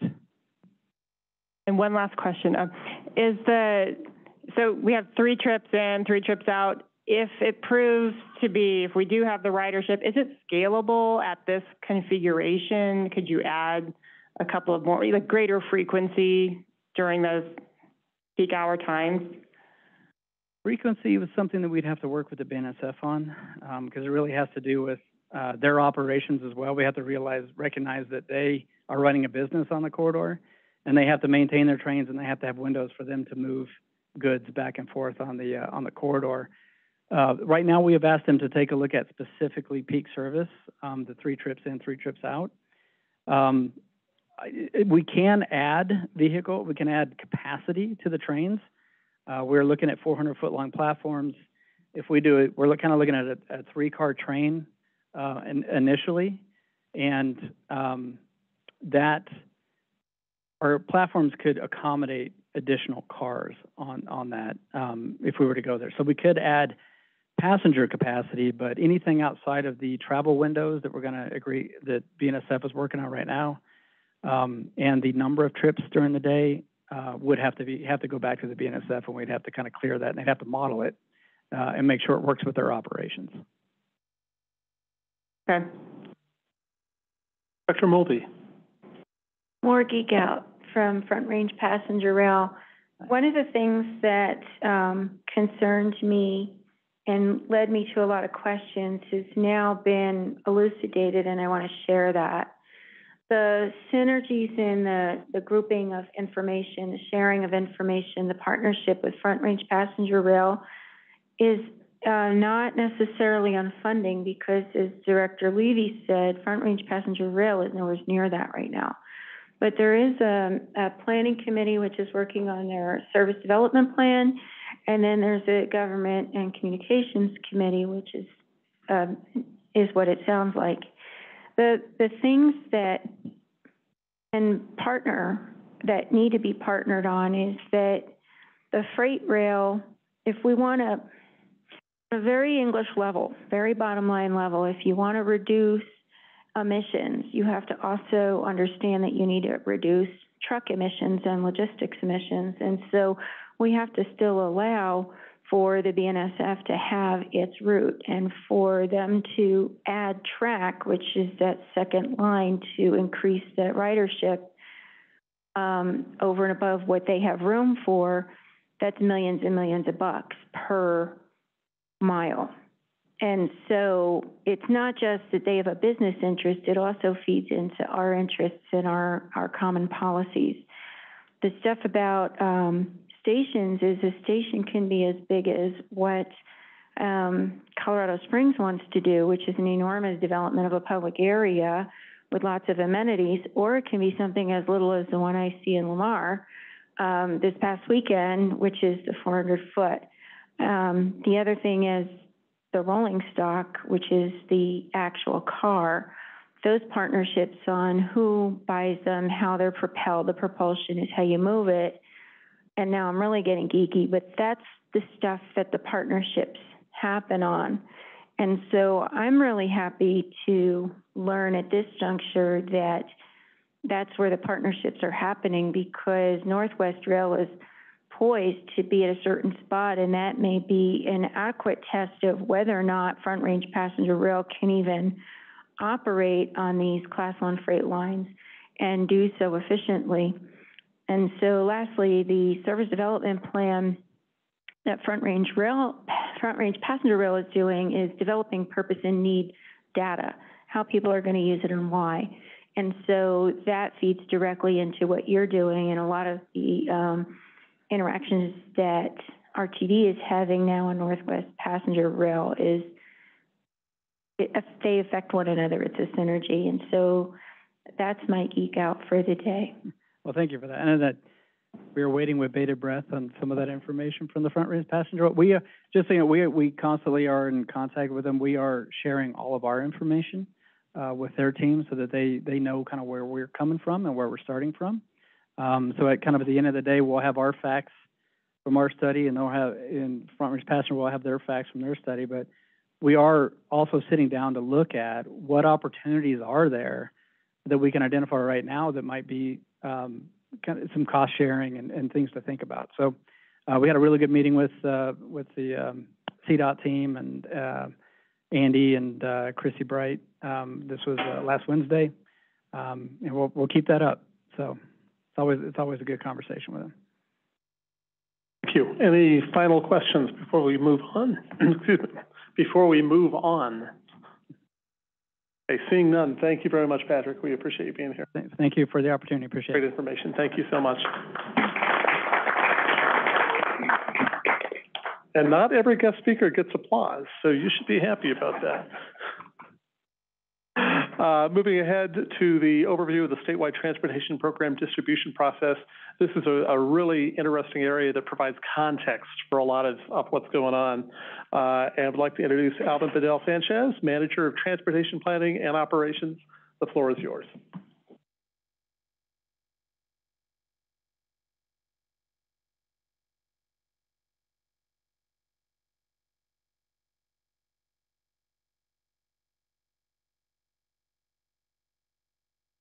Chair, good evening, directors. Uh, so as introduced, um, this is a topic that we thought was timely to bring forward to y'all as CDOT begins conversations uh, with STAC and that ultimately will go before the TC for uh, recommendation and consideration. Um, this is an important topic for DRCOG. Uh, it is one of our foundational documents that helps us set our financial plan for our regional transportation plan. So when we're talking about our fiscally constrained priorities, our list of projects, what are we funding over the next 20 to 30 years that feed into our TIP, this is one of these foundational documents that help set those discussions. Starting with some quick basics, uh, it is part of CDOT's statewide transportation plan, and so it looks at projected revenues. It assigns those to various program areas as defined by CDOT. Uh, it's also um, sent to the various regions that exist, so whether that's a CDOT region or a dis distribution by MPO, that's looked at over the long term. Um, it is only looking at federal and state sources that currently exist um, at an average economic condition. So just what do we reasonably think will be available to CDOT, to DRCOG, over the next 20 to 30 years to help build our transportation system and maintain it. And then, like I've mentioned, we do use that to develop our own revenue forecast for our regional transportation plan that we then carry forward into our transportation improvement program. Delving into a little more on that, uh, we do have two assumptions that build our financial plan. There's an expenditure side. We know all the funding that's going to be available in the region isn't just available for projects that we want to do. Um, some of it's already called for. Debt service, what does it take to maintain our system? How do we keep a certain level of drivability on our roads, maintain our transit assets? The second piece is revenue assumptions. So CDOT's program distribution is one piece of that. We also do look at RTD's financial plan over the next 20 to 30 years. And then we also look at what funding is available to our local member governments. What is E470 spending on their system over the next 20 to 30 years? And so we bring all these different pieces together to figure out what revenue is available to our region for the different projects and programs that we want to complete over the next 20 to 30 years. So those two come together to create our financial plan, and that's where we start talking about fiscal constraint. What do we think is actually available to put on projects, recognizing that we can't fund every project that we want in the region. So then we start having those conversations about what are our actual investment priorities for the region. What projects do we list in our tables and our plan that are then eligible for funding through our transportation improvement program? Looking at our most recent previous program distribution that was used for our 2050 regional transportation plan, uh, CDOT did develop the 2045 program distribution using a high revenue scenario. So we carried that forward into our own plan. Um, we participated in the last process, as did the other MPOs in the state. CDOT worked with the other transportation planning regions in the state as well. And so we were able to work with them to determine what proportion, what amount is actually coming to the DRCOG region over the next 20 to 30 years. Um, as you'll notice, it is a 2045 program distribution, and our plan currently goes out to 2050. So one of the assumptions we did make while we were building our financial plan was to carry forward those average growth rates that we were seeing in the various program areas, the different funding types to forecast out those last five years for us to build out our financial plan. When it comes time to create our financial plan, beyond just knowing what revenue is available over the next 20 to 30 years for projects, we also talk with CDOT to determine uh, within each program area, within each funding type, what is available for projects that we individually list in the plan, and what is just in a bucket of funding that we know is going to be spent on sidewalks, maintenance, resurfacing, uh, transit operations. And so we do that for each of those different program areas, each funding type, and we uh, just providing some quick info of how that actually looks when you're looking at CDOT administered funds versus DRCOG administered funds. CDOT, with their funding, about 62% is allocated to what we call programmatic expenses, so those bucket of projects where we don't list individual sidewalk improvements, resurfacings, transit operations. So that is going to preserving, operating, maintaining, enhancing the existing transportation system, not going to what we call capital projects, or those individual projects that if you go into our plan right now are listed uh, with a description, location, how much that cost is over the next 20 to 30 years. Since we do have more flexibility with funding that we administer as an agency, 82% of the funding that we administer goes to those individual capital projects. So that list of projects that you're seeing in the plan, um, when it is DRCOG administered, DRCOG funded, we did put a majority of our funding uh, available for those individually listed projects. So reinforcing the importance of program distribution, the different ways that we show investment in the plan from that specific project list, those project categories, investment allocations, and the narrative content. Um, three of these topics are how we build our financial plan, build our investment priorities, using program distribution, building it into our financial plan, and then carry it forward into our transportation improvement program. Um, rounding out the current program distribution that was used for our 2050 regional transportation plan, um, on your screen right now are the different program areas, the different funding types that existed when we built our financial plan back in 2020, 2021. Um, on the far right column, you'll see those percentages vary from 33% related to surface transportation to 75% surface transportation um, program metro funding. So uh, across these different program areas, different funding types, the amount that's going to the DRCOG region varies, just depending on what program we're discussing, what funding type we're discussing. Uh, on average, um, 30 to 38% of funding that is available in program distribution is coming to the DRCOG region. Uh, there are some discrepancies on this table, so if for some reason y'all decide to add all these up after the meeting and realize there isn't a one-for-one comparison on some of these, there are some lines missing that are representative of that discrepancy, but uh, even with that, on average, uh, 31, 38% of funding as a whole for the grand total is coming to the DRCOG region at a program distribution. So shifting uh, from program distribution into the needs, the contributions of the DRCOG region, one of the acronyms uh, that we use occasionally, usually during this process, but not often, is TPR, so Transportation Planning Region. Um, DRCOG is the Greater Denver Area TPR. So the different measures I'm about to show, the different metrics you're about to see are related to that specific geography on the map. Starting with some demographic and economic considerations, um, DRCOG staff like to use a general rule of thumb that we are half the state in a lot of different metrics. So these different variables bear that out. In terms of population, we're a little over half. In terms of the number of jobs in the region compared to the state, almost two-thirds are in our region. And in terms of the wages, the income that occurs in the state, uh, almost three-quarters exist in the DRCOG region. Shifting to travel measures, um, again, that metric holds pretty well. About half of all trips that occur on an average day in Colorado are in our DRCOG region, regardless of mode, uh, and regardless of whether they're coming or coming from the region, entering the region, leaving the region. Um, that carries forward into vehicle miles traveled as well, uh, whether, regardless of whether you're looking at VMT on CDOT system or the whole system within the region, a little over half occurs within our DRCOG region planning boundary. Um, that metric does shift a little if you start looking at lane miles. Um, you're seeing 19%, 13% on this slide.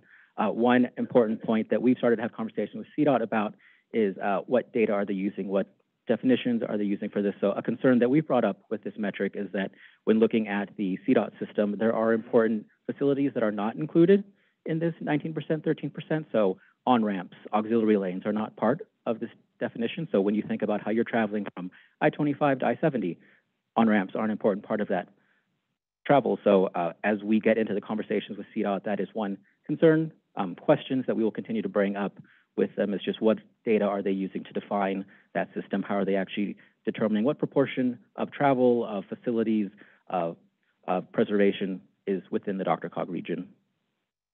If you look at traffic fatalities, around a little under half of all fatalities that occur in the state are within our region. Uh, we bring before y'all every year different system, uh, performance targets related to safety. That number has unfortunately held true over the last couple years. Around half of all fatalities do occur within our DRCOG region. And then the final metric you're seeing is transit trips.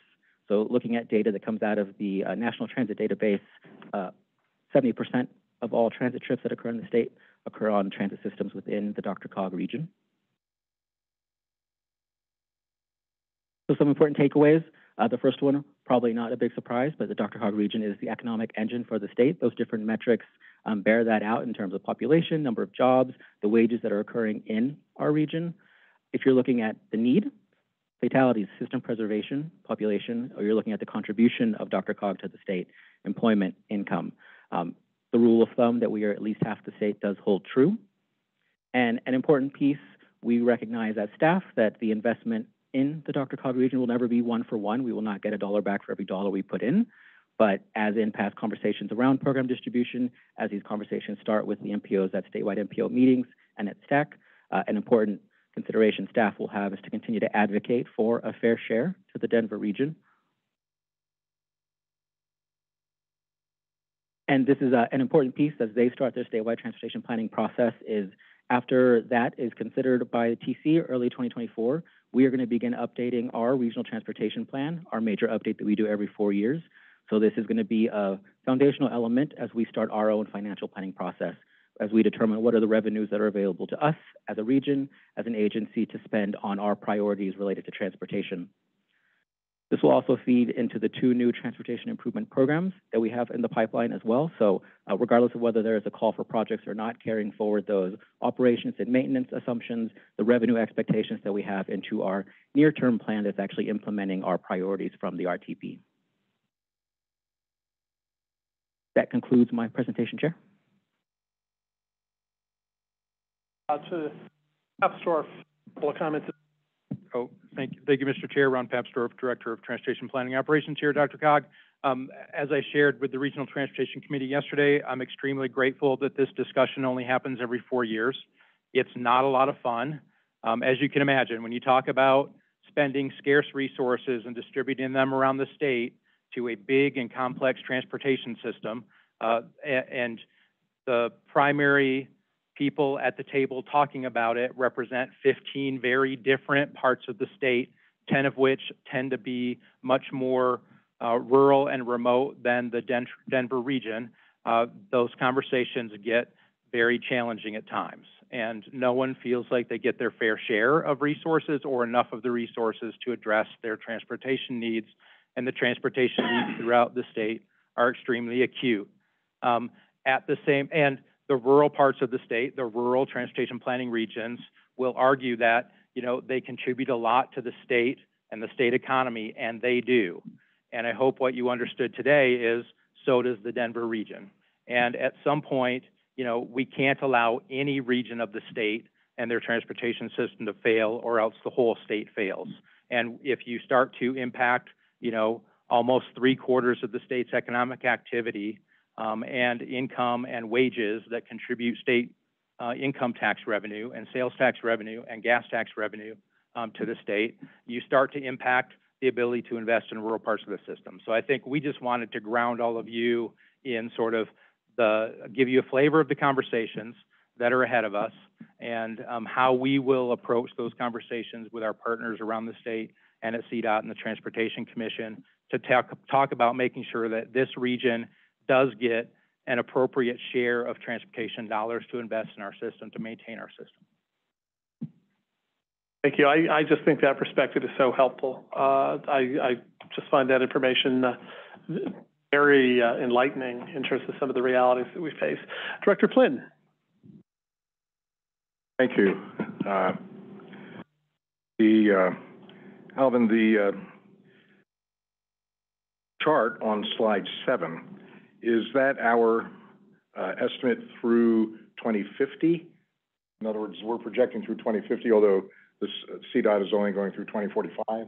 Uh, that's a great clarification. So um, our plan does project out to 2050. The table that is currently on your screen only shows that comparison to 2045. So uh, for both DRCOG total and CDOT total, it is only through 2045, just to provide an apples-to-apples comparison. Okay, and uh, ultimately, problem is everybody's list of things we want and need, whether we're in the Denver Metro or we're in Rango, is greater than the resources we're going to have statewide. So there's always going to be the fight. Uh, I hate to say this, at Dr. Cog, but I represent an outlying area of city and county of Denver. And I feel like the rural areas of the state, when it comes to all the resources that go into downtown Denver versus what very little comes out to my neighborhoods. So my sympathies lie somewhat with the rural areas. I probably shouldn't say that. So have we developed internally what our goal is, what our target is, rather than the 31%? What, what do we think is fair? I think that varies as you look at the different program areas and the different funding types. Um, some of them just naturally vary based on whether there's a formula behind it related to like how our federal partners are distributing funding. Um, but then some based on just the program areas that CDOT's defining, what are they defining as drivability for different preservation that they're doing on their facilities. So I think um, we have not set a goal of, do we want a particular percentage of it? Um, recognizing that will vary across the funding types, but, um, thirty-one to thirty-eight percent, uh, a question for us all, a question for staff, is that a fair share to the DRCOG region? Let me ask you then finally, are any of those line items appropriate, given our level of contribution into the pot versus what we get back? Are any of those numbers correct? And we wouldn't look to increase any of them? Or are they all, uh, underserving us? It's an interesting question. Uh, I think if you looked at the traffic fatalities, it's forty-six percent in, in the region that occur in the state are in the DRCOG region. Um, I don't know if I would argue that forty-nine percent of faster safety funds, uh, is, is fair just because we're forty-six percent of the traffic fatalities in the state. Mr. Mis- Mr. Oh, Chair, oh, Mr. Uh, Alvin- and then we'll Alvin go to Director exactly- Nurmela. Oh, sorry. Alvin was exactly correct, and I, and I will just supplement a little bit to say that a lot of these formulas are very complex in the way that they've devel- been developed over the years, and I think right, right or wrong isn't exactly right, and I think trying to set a target isn't our approach. I think our preferred approach is, what are the outcomes we're trying to achieve throughout the state? And then how do we divvy up resources to best achieve those outcomes?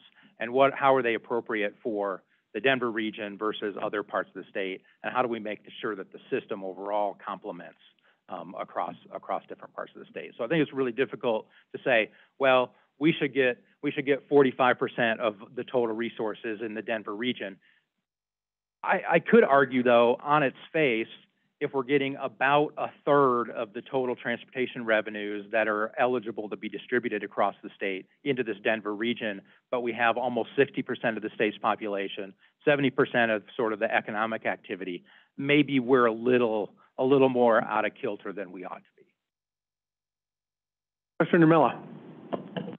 Yeah, I mean, just, I was just going to point out something that, you know, in looking at this chart, you look at specific line items like strategic transit and multimodal projects, which is thirty-nine percent, and yet we're the densest area and hopefully, and really likely have the most potential for transit and using transit and ridership, um, development. So, uh, it, it's just things like that. And also what struck me was just the maintenance and operations being just twenty-six percent. Um, you know, we're very dense and we have a lot of facilities.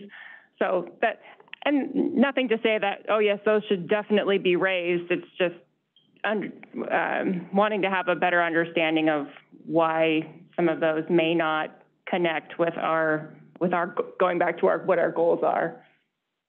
No, it's a great point, and it was a great exercise for staff as well as we looked at those different measures. Um, even surprising for me personally on a num- number of transit trips, for example, that are occurring within the state, that are within the DRCOG region. So I think a very informative exercise for staff, uh, and we're also glad it's been informative for y'all as well. Alvin, thank you very much. Yes. Ron, thank you. We will move ahead, uh, to an update on RTD's Zero Fare for Better Air. It's back, yay. Uh, Steve Erickson, Director of Communications and Marketing, will do our introduction. Uh, thank you, Mr. Chair, and good evening, everyone. I almost feel obligated to say a special warm welcome to our old friend Bob Pfeiffer. Um, obligated to say hello and welcome, Bob Pfeiffer. Uh, I'm Steve Erickson. I'm the Communications and Marketing Director, and I'm going to work just as hard as Jacob tonight. And it's my pleasure to introduce you to the uh, Chief Communications and Engagement Officer at RTD and a good friend of ours, Stuart Summers.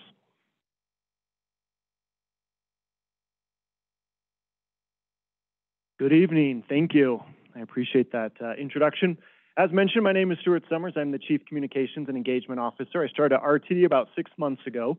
So if you have any uh, really difficult questions to ask this evening, Mr. Brian Welch is our in-house expert, so I will just uh, delegate him to his uh, direction.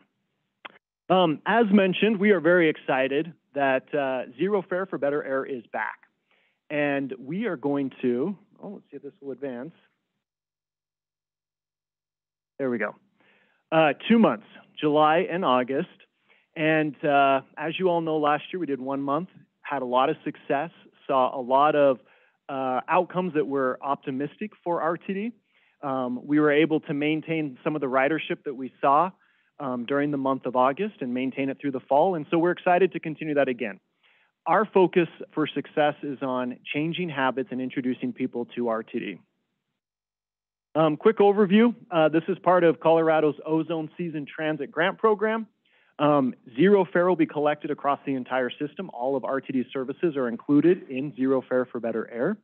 Um, as I mentioned, it's focused on changing habits. We want to introduce people to the system.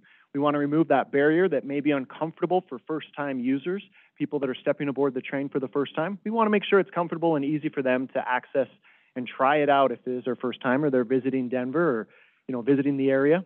Um, we also want to make sure we highlight the environmental impact and the benefits of, of taking transit and removing from a single occupancy vehicle. We are partnering with more than 75 community organizations, nonprofits, and groups. We've been planning, uh, we've been meeting for the last couple of months, planning out a successful two months, uh, which will include a number of events I'll jump into, um, a very comprehensive marketing campaign, really trying to make sure the word gets out about this, ex this exciting couple of months.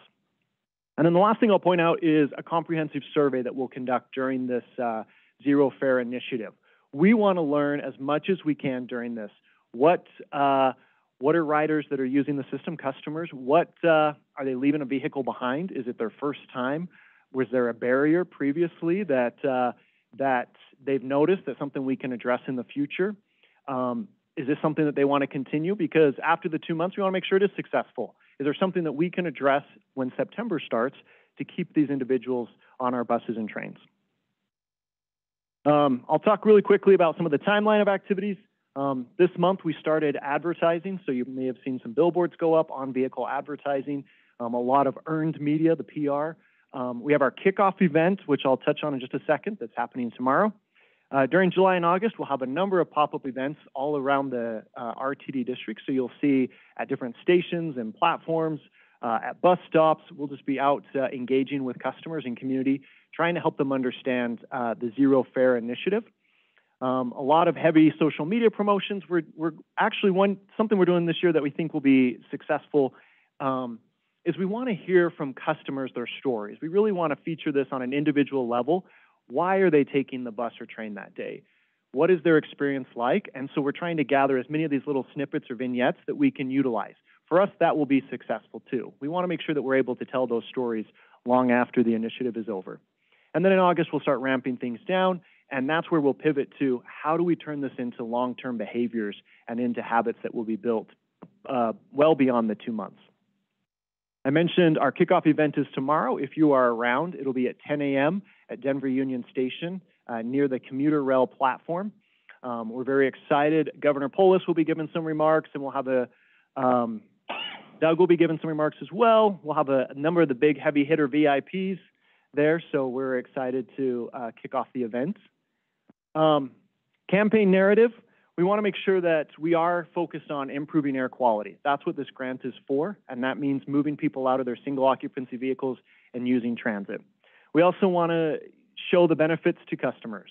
Save gas, save time, you know, have a relaxing commute, uh, sit back, you know, have time to do other things, read a book, you know, engage with other people that are on your commute with you, uh, reduce traffic congestion, the stress that comes with that. Um, we have a partner toolkit that we have launched on our website. For any of you that uh, would be willing, um, this toolkit is, is available to all of you. Uh, it has photos and uh, suggested social media posts. It has graphics. It has videos that you can share. Um, we just launched a new how to ride video that's available in English and Spanish, really trying to make this as easy as possible to help people help us to share this message broadly. Um, if you uh, engage with any organizations and they may be putting on an event during these two months.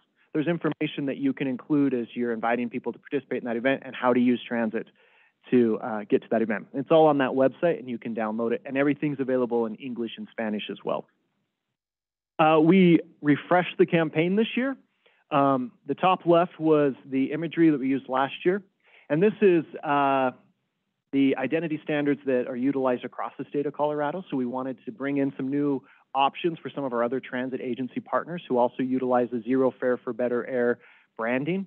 And so we've added things like the meadow and the aspens and the mountains, really trying to freshen things up and give some different options to just catch attention in a new way. Just a couple of things on some of the out-of-home, some of the billboards, on-vehicle advertising, um, some of the display ads, both in English and Spanish. We'll do a, a lot of uh, paid promotion throughout the, the couple of months. And then just some social media stuff that can be downloaded as well with some of this carousel, is what this is called on um, Instagram.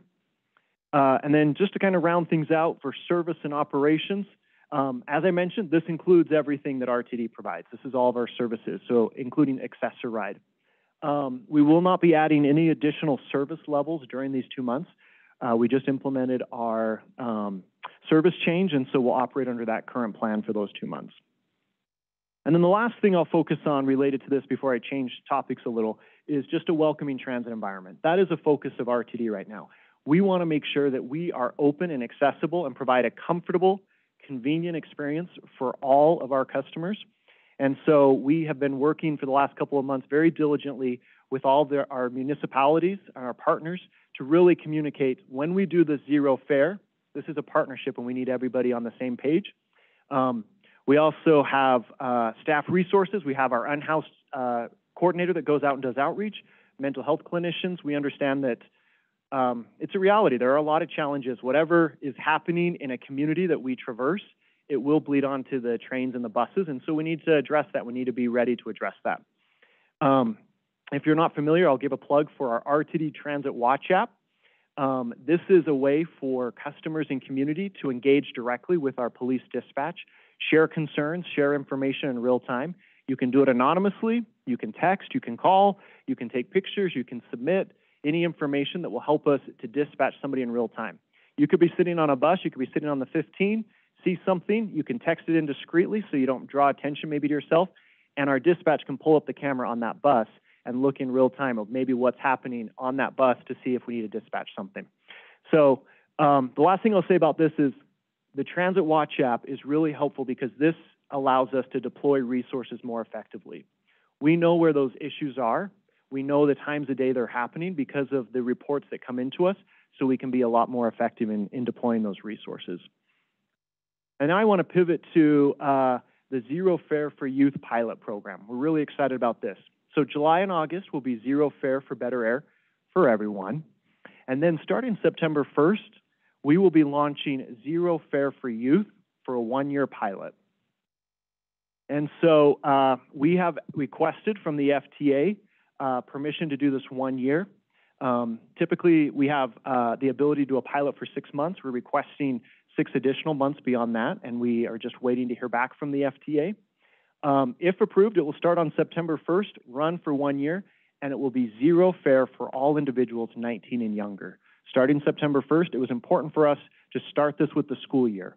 We wanted to make sure that families and individuals, as they're making their plans, could uh, could consider this as they're starting to say, how do we navigate the new school year and, and uh, you know, all the activities that come with that.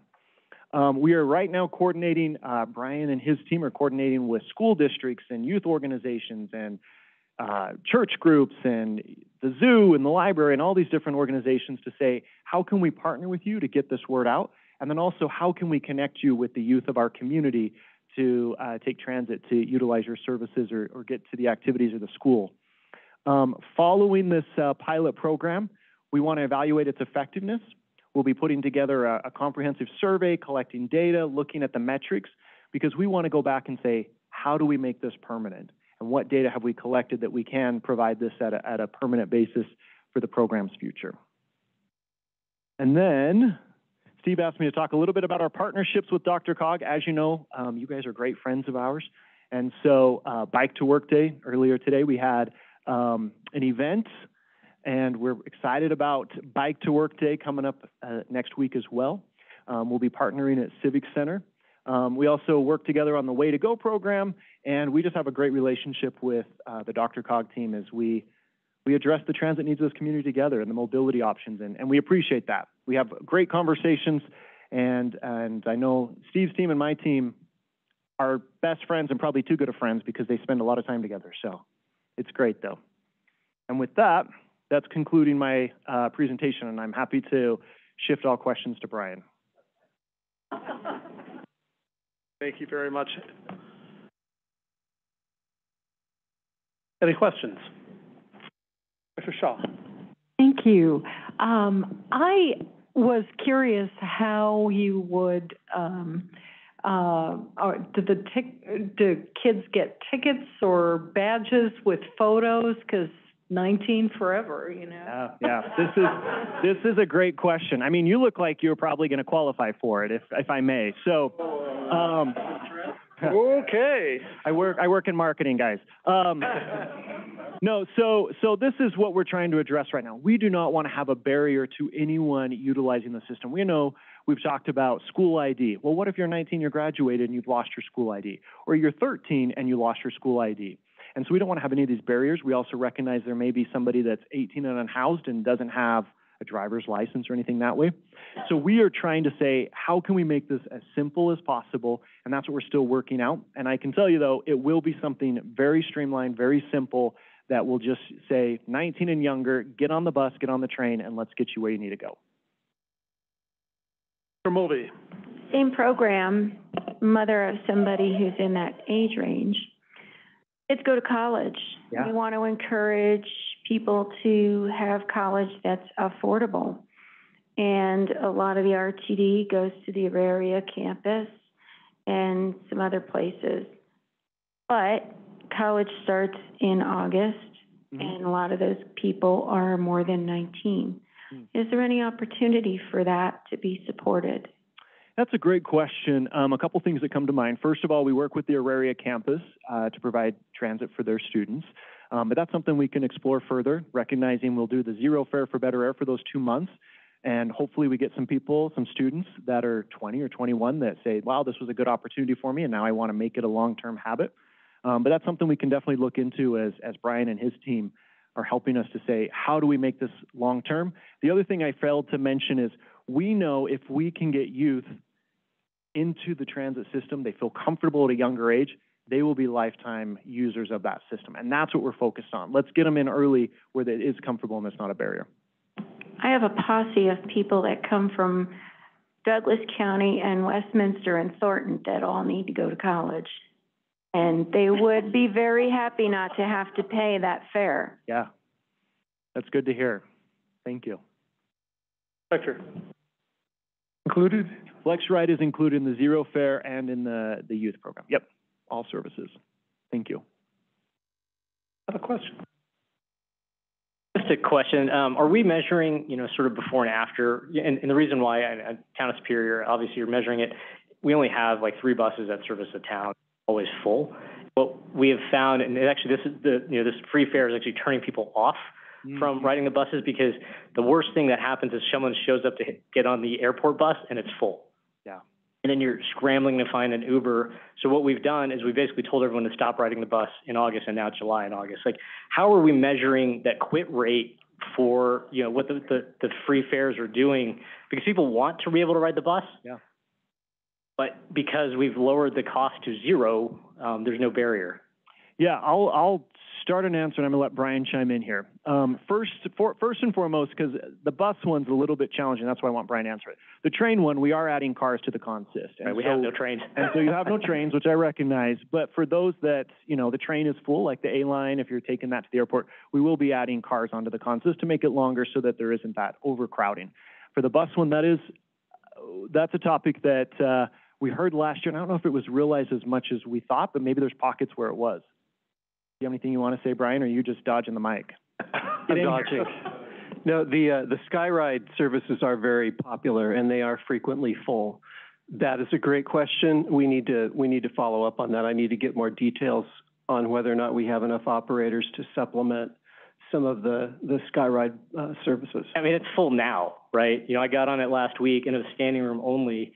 Hmm. It's only gonna be more full next week and, you know, I mean, what is the last slide said, we're not adding any, any additional staff, no additional capacity. So, you know, the, the message to my community is this is the worst thing ever. Yeah. Just avoid public transportation for the next two months. Well, we hope you don't say that, but yeah, we No, no, recognize that's- that. That's not my, that's not Yeah. my, Yeah. that's what everyone else is saying right now. And it's like, why did we do this as opposed to just, you know, adding the capacity? Because again, you know, the community frustration is the Flatiron Flyer post-COVID is still curtailed service, and that hasn't come back, and yet we're trying to encourage more people to ride public transportation. We don't service the routes that we had prior to the pandemic. This is good feedback. We'll, we'll take this back because that's something that needs to be addressed. And we don't want that. The last thing we want during this is an unpleasant experience when somebody gets to, goes on the bus and there's no room and they're turned away. And that, that goes against everything we're trying to do. Thank you, Director Shaw. The questions, comments? Thank you very much. Great presentation. We appreciate you being here. Uh, we'll move into committee reports. I'm going to insert something real quick because we never really get reports from the Regional Transportation Committee. Uh, and I wanted to briefly acknowledge the, the folks that are here that serve on that. Uh, Director Shaw, Director Mulvey, Director Wheel, and Director Ward.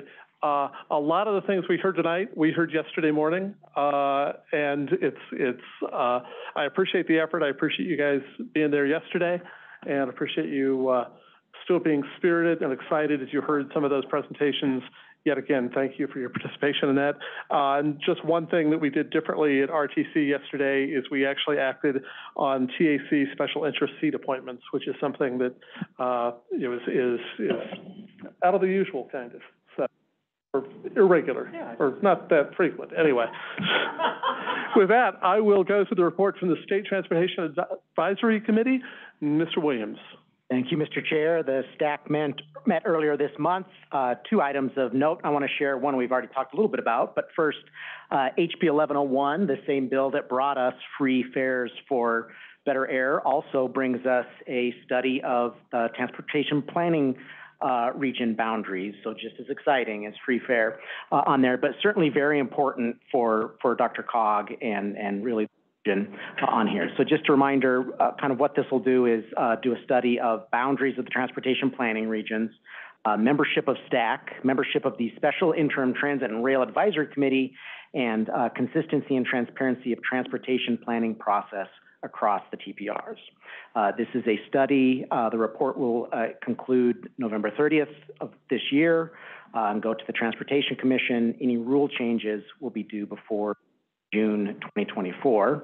Uh, but we are lucky to have Mr. Papsdorf on the advisory committee uh, as that process moves forward. And the second uh, program distribution process, uh, Alvin did a great job, so I won't go into any much additional detail.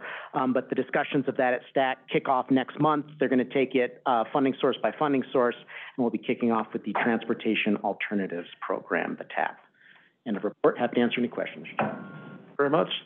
Uh, we will move ahead to the report from the Metro Mayor's Caucus. Mayor Bud Starker. Uh, thank you, Mr. Chair. The caucus met on June the seventh as a, full caucus. We had a, uh, a report on regional arts and culture. We had the Scientific and Cultural Facilities District come in. Uh, Deborah Jordy, their executive director, told us about the uh, SCFD. We're doing great work. We also had a, a presentation by the Butterfly Pavilion taking flight. They've got a great campus they're developing up in Broomfield. Uh, Patrick Quinn, the president and CEO, brought his team and told us all the great things they were doing with invertebrates in our front range. Um, after that, we talked about the um, the caucus announced that uh, Mayor uh, Heidi Williams was going to be our new executive director starting next month. Uh, we talked about some, uh, let's see, we had uh, a presentation that we saw uh, last month, I think, at DRCOG here with the Civic Results Board members, uh, Rick Pilgrim and Marilee Utter, talking about corridor revitalization and how that strategy might work here in Colorado and some examples from California. We uh, then talked about sustainable, uh, affordable housing and uh, where we might uh, look to review the uh, legislative actions that occurred this year in the legislature and what we might look forward to next year. And that's my report. Thank you very much. Moving ahead to the report from the Metro Area County Commissioners, Commissioner Jeff Baker. Thank you, Mr. Chair. Our meeting for Friday, June sixteenth was canceled because a lot of people were gone, different places. And I'm gonna have to step down from making the report for Metro Area County Commissioners as I've been appointed to another board, um, at the state level that meets at the- exactly the same time as MAC. So, um, I've talked with Commissioner Teal, haven't had a chance to talk with Commissioner Levy about that, but if any of the county commissioners want to do that, um, be happy to take names or He's not, no. So I guess you're elected. Thank you, that concludes my report. Moving ahead, there's no official report from the Advisory Committee on Aging. I will say that the ACA meets on Friday. And with that, we'll go ahead to, uh, Executive Director Rex for the report from the Regional Air Quality Council. Thank you, Mr. Chairman, very much. The RAC met at its regular monthly meeting on June second. Uh, two topics of, uh, that I'd like to raise your attention to. Um, one was related to, we had a presentation, um, from staff related to, uh, emission control strategy recommendations. RAC has a control, control strategy committee, and, um, they're looking at pursuing a couple recommendations in a couple, couple different sectors um, for AQCC Air Quality Control Commission consideration rulemaking. Um, the first is related to uh, lawn and garden emission control proposals. Of note, there's several here, but I'll just mention a couple. Is basically is the restriction and ultimately the prohibition of the sale of gas-powered push and handheld equipment in the non-attainment area. Um, also limiting government and commercial operator use of gas-powered push and handheld equipment um, later on in the, in the 20 so it's, uh, listen, this is obviously a very serious issue, and I'm sure it's a very sensitive issue as we go forth and make some recommendations on this. We're, we're in a severe non-attainment area, and it's gonna, it's, it's gonna be painful in some respects. So, um, just kind of hold on tight right now. Uh, the others related, the other sector, uh, that was presented on was the oil and gas emissions control section. Um, of note, and I am just reading because I don't know enough about this sector to really even uh, comment. But operators within the non-attainment area must defer maintenance and other activities uh, that necessitate, necessitate equipment blowdowns to months outside the summertime ozone season. So, um, so obviously there, we're accepting public comment. The RAC is right now. We expect there will be a lot of public comment at the next meeting in uh, early July and uh, a recommendation will be made by the council to move forward or not at that time.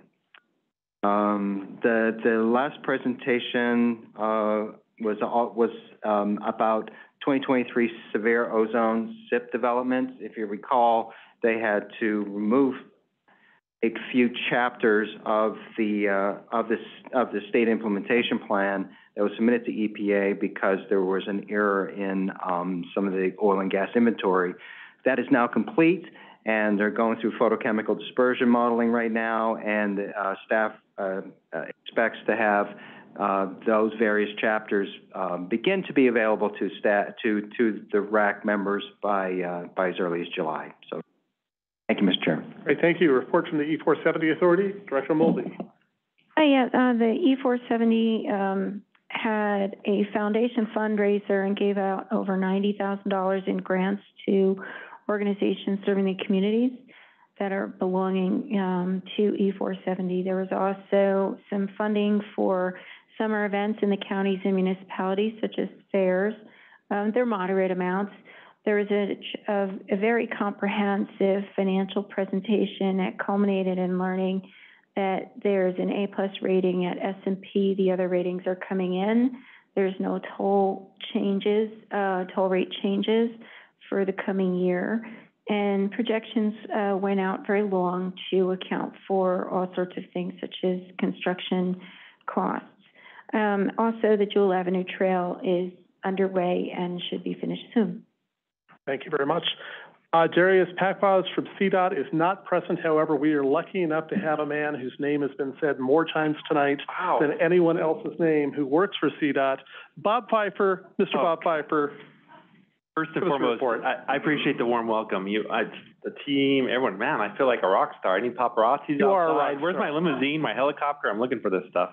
I'm on like. Because I will be back, unfortunately, I will be back. But my day job, uh, for those that don't know, I lead up, uh, uh, operations for CDOT. And I know the mayor's been up to the tunnel with me. I've given tours of what CDOT does. So I thought it was kind of cool, some of the factoids over the last year of the operational impacts to CDOT. And I thought I could give an update. Since Darius is not here, I'll tell him I took his mic tonight. So last year was the highest fatalities on our highways, unfortunately. Over 760 passed away uh, on our highways. That is the highest in history. Um, we are working hard to figure out how we can change that, uh, my team as well as the engineering teams. Um, this was the second snowiest season over the last 50 years. Um, we had over five hundred inches on Wolf Creek Pass, and we had over four hundred inches over at Steamboat Springs. Um, we had crews going twenty-four hours a day for several months, ongoing, all the time. They were never stopped. Um, to give you an idea, uh, we managed thirty-four statewide storms, which is the highest number we've had in the last, uh, twelve years. Uh, we had a thirty-eight percent vacancy rate, and we've now lowered that down to seventeen percent vacancy rate with a housing stipend. We've introduced housing along the I-70 corridor where we actually build workforce housing. Uh, we broke ground in Frisco, uh, a few weeks ago, and we're gonna do Fairplay next. And then we have a, a- we have about another half dozen places we're gonna do it as well. And basically, we give the keys to anyone who wants to come and snowplow. Um, or if you don't, we give up to two thousand dollars housing stipend, uh, for employees that are on the corridor. Uh, that has obviously closed, uh, the gap. In fact, starting, uh, next week, our frontline begin, entry-level positions will start without housing stipend at sixty-two thousand dollars a year. So you don't have to know anything, and we'll pay you sixty-two thousand dollars to come and learn it. Um, we, we snowplowed six point five million miles last year. That was, uh, two hundred and sixty-one times around the earth, uh, here in Colorado. Uh, my team does the avalanche mitigation, so we had four hundred and eighty-eight, uh, missions, and two hundred and three hit the road, which in our eyes means two hundred three lives probably were saved. Um, we had a fifteen percent increase in, uh, incidents over the winter, which was over twelve thousand incidents just in the metro area, and we call incidents like traffic accidents and so forth. Had an increase in that, but we had a decrease in closures on our highways. We had a nine percent, uh, uh, down. So it just showed with a high vacancy, high incidents, we still lowered closures and we still plowed. And so I have to say, there's a bunch of unicorns I work around and I'm very proud of them. Um, we, uh, trained over two hundred people that did not have CDLs to close that gap, and we trained, uh, all of them in-house and got them out there. In fact, uh, we have about a ninety-five percent success rate that they retained with, uh, CDOT. Uh, let's see, we trained over fifteen howitzer crews. My team does the artillery. I don't know if you all know that, but we do shoot artillery. Um, that will be sunsetting, so if you want to come and see what we do, we'll, I'll take you, take you on. Uh, here, here's something that's, I wanted to really bring up is the money. I mean, we always talk about money, right? And, uh, out of our maintenance budget, um, over hundred million, it's about two hundred and eighty-seven million. We had two injections. We had a twelve million dollar injection and nineteen point six million dollar injection, uh, specifically for snow and ice. That brought out of the roughly three hundred and, let's just say ten million dollars rough estimate, uh, over hundred million, so a third, was just to do snow plowing and ice removal.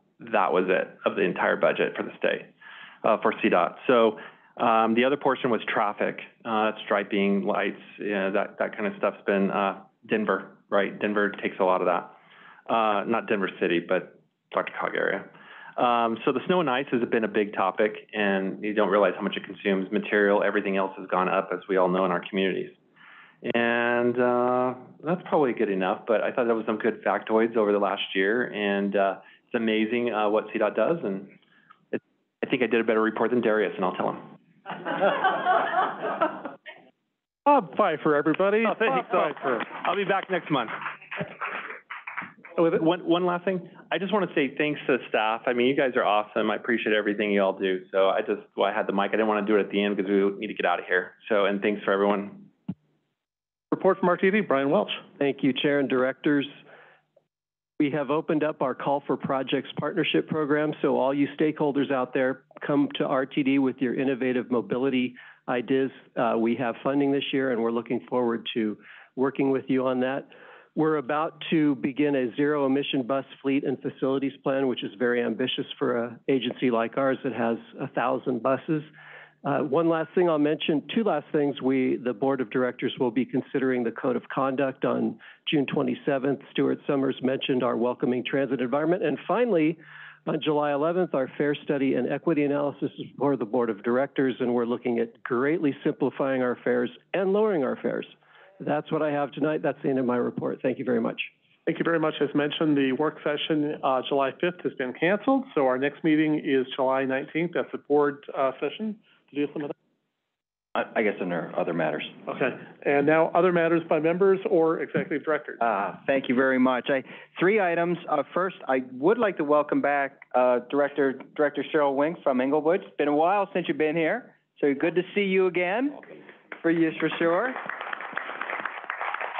Uh, also, if, so, okay, to get access to the building, so the parking garage, these doors will not be open tonight. It was deemed a security risk. So as a result, in order to get to there, to the bottom of the escalator, go through this door right here and hang a left. And there's a hallway that'll take you right back out there, okay? Um, Will and. we have tour guides to help with that? Well, I know, I was just wondering about that. And then also, um, there's a, there's a good little storm that's coming our way right now, so you might want to check your phones on the way out, depending on which direction you're heading. You might want to hang tight for a little bit, just FYI. That's it, Mr. Chairman, thank you. Any other matters by members? Thank you to the board, appreciate everything you do, and thank you to staff for all you do. Have a good night.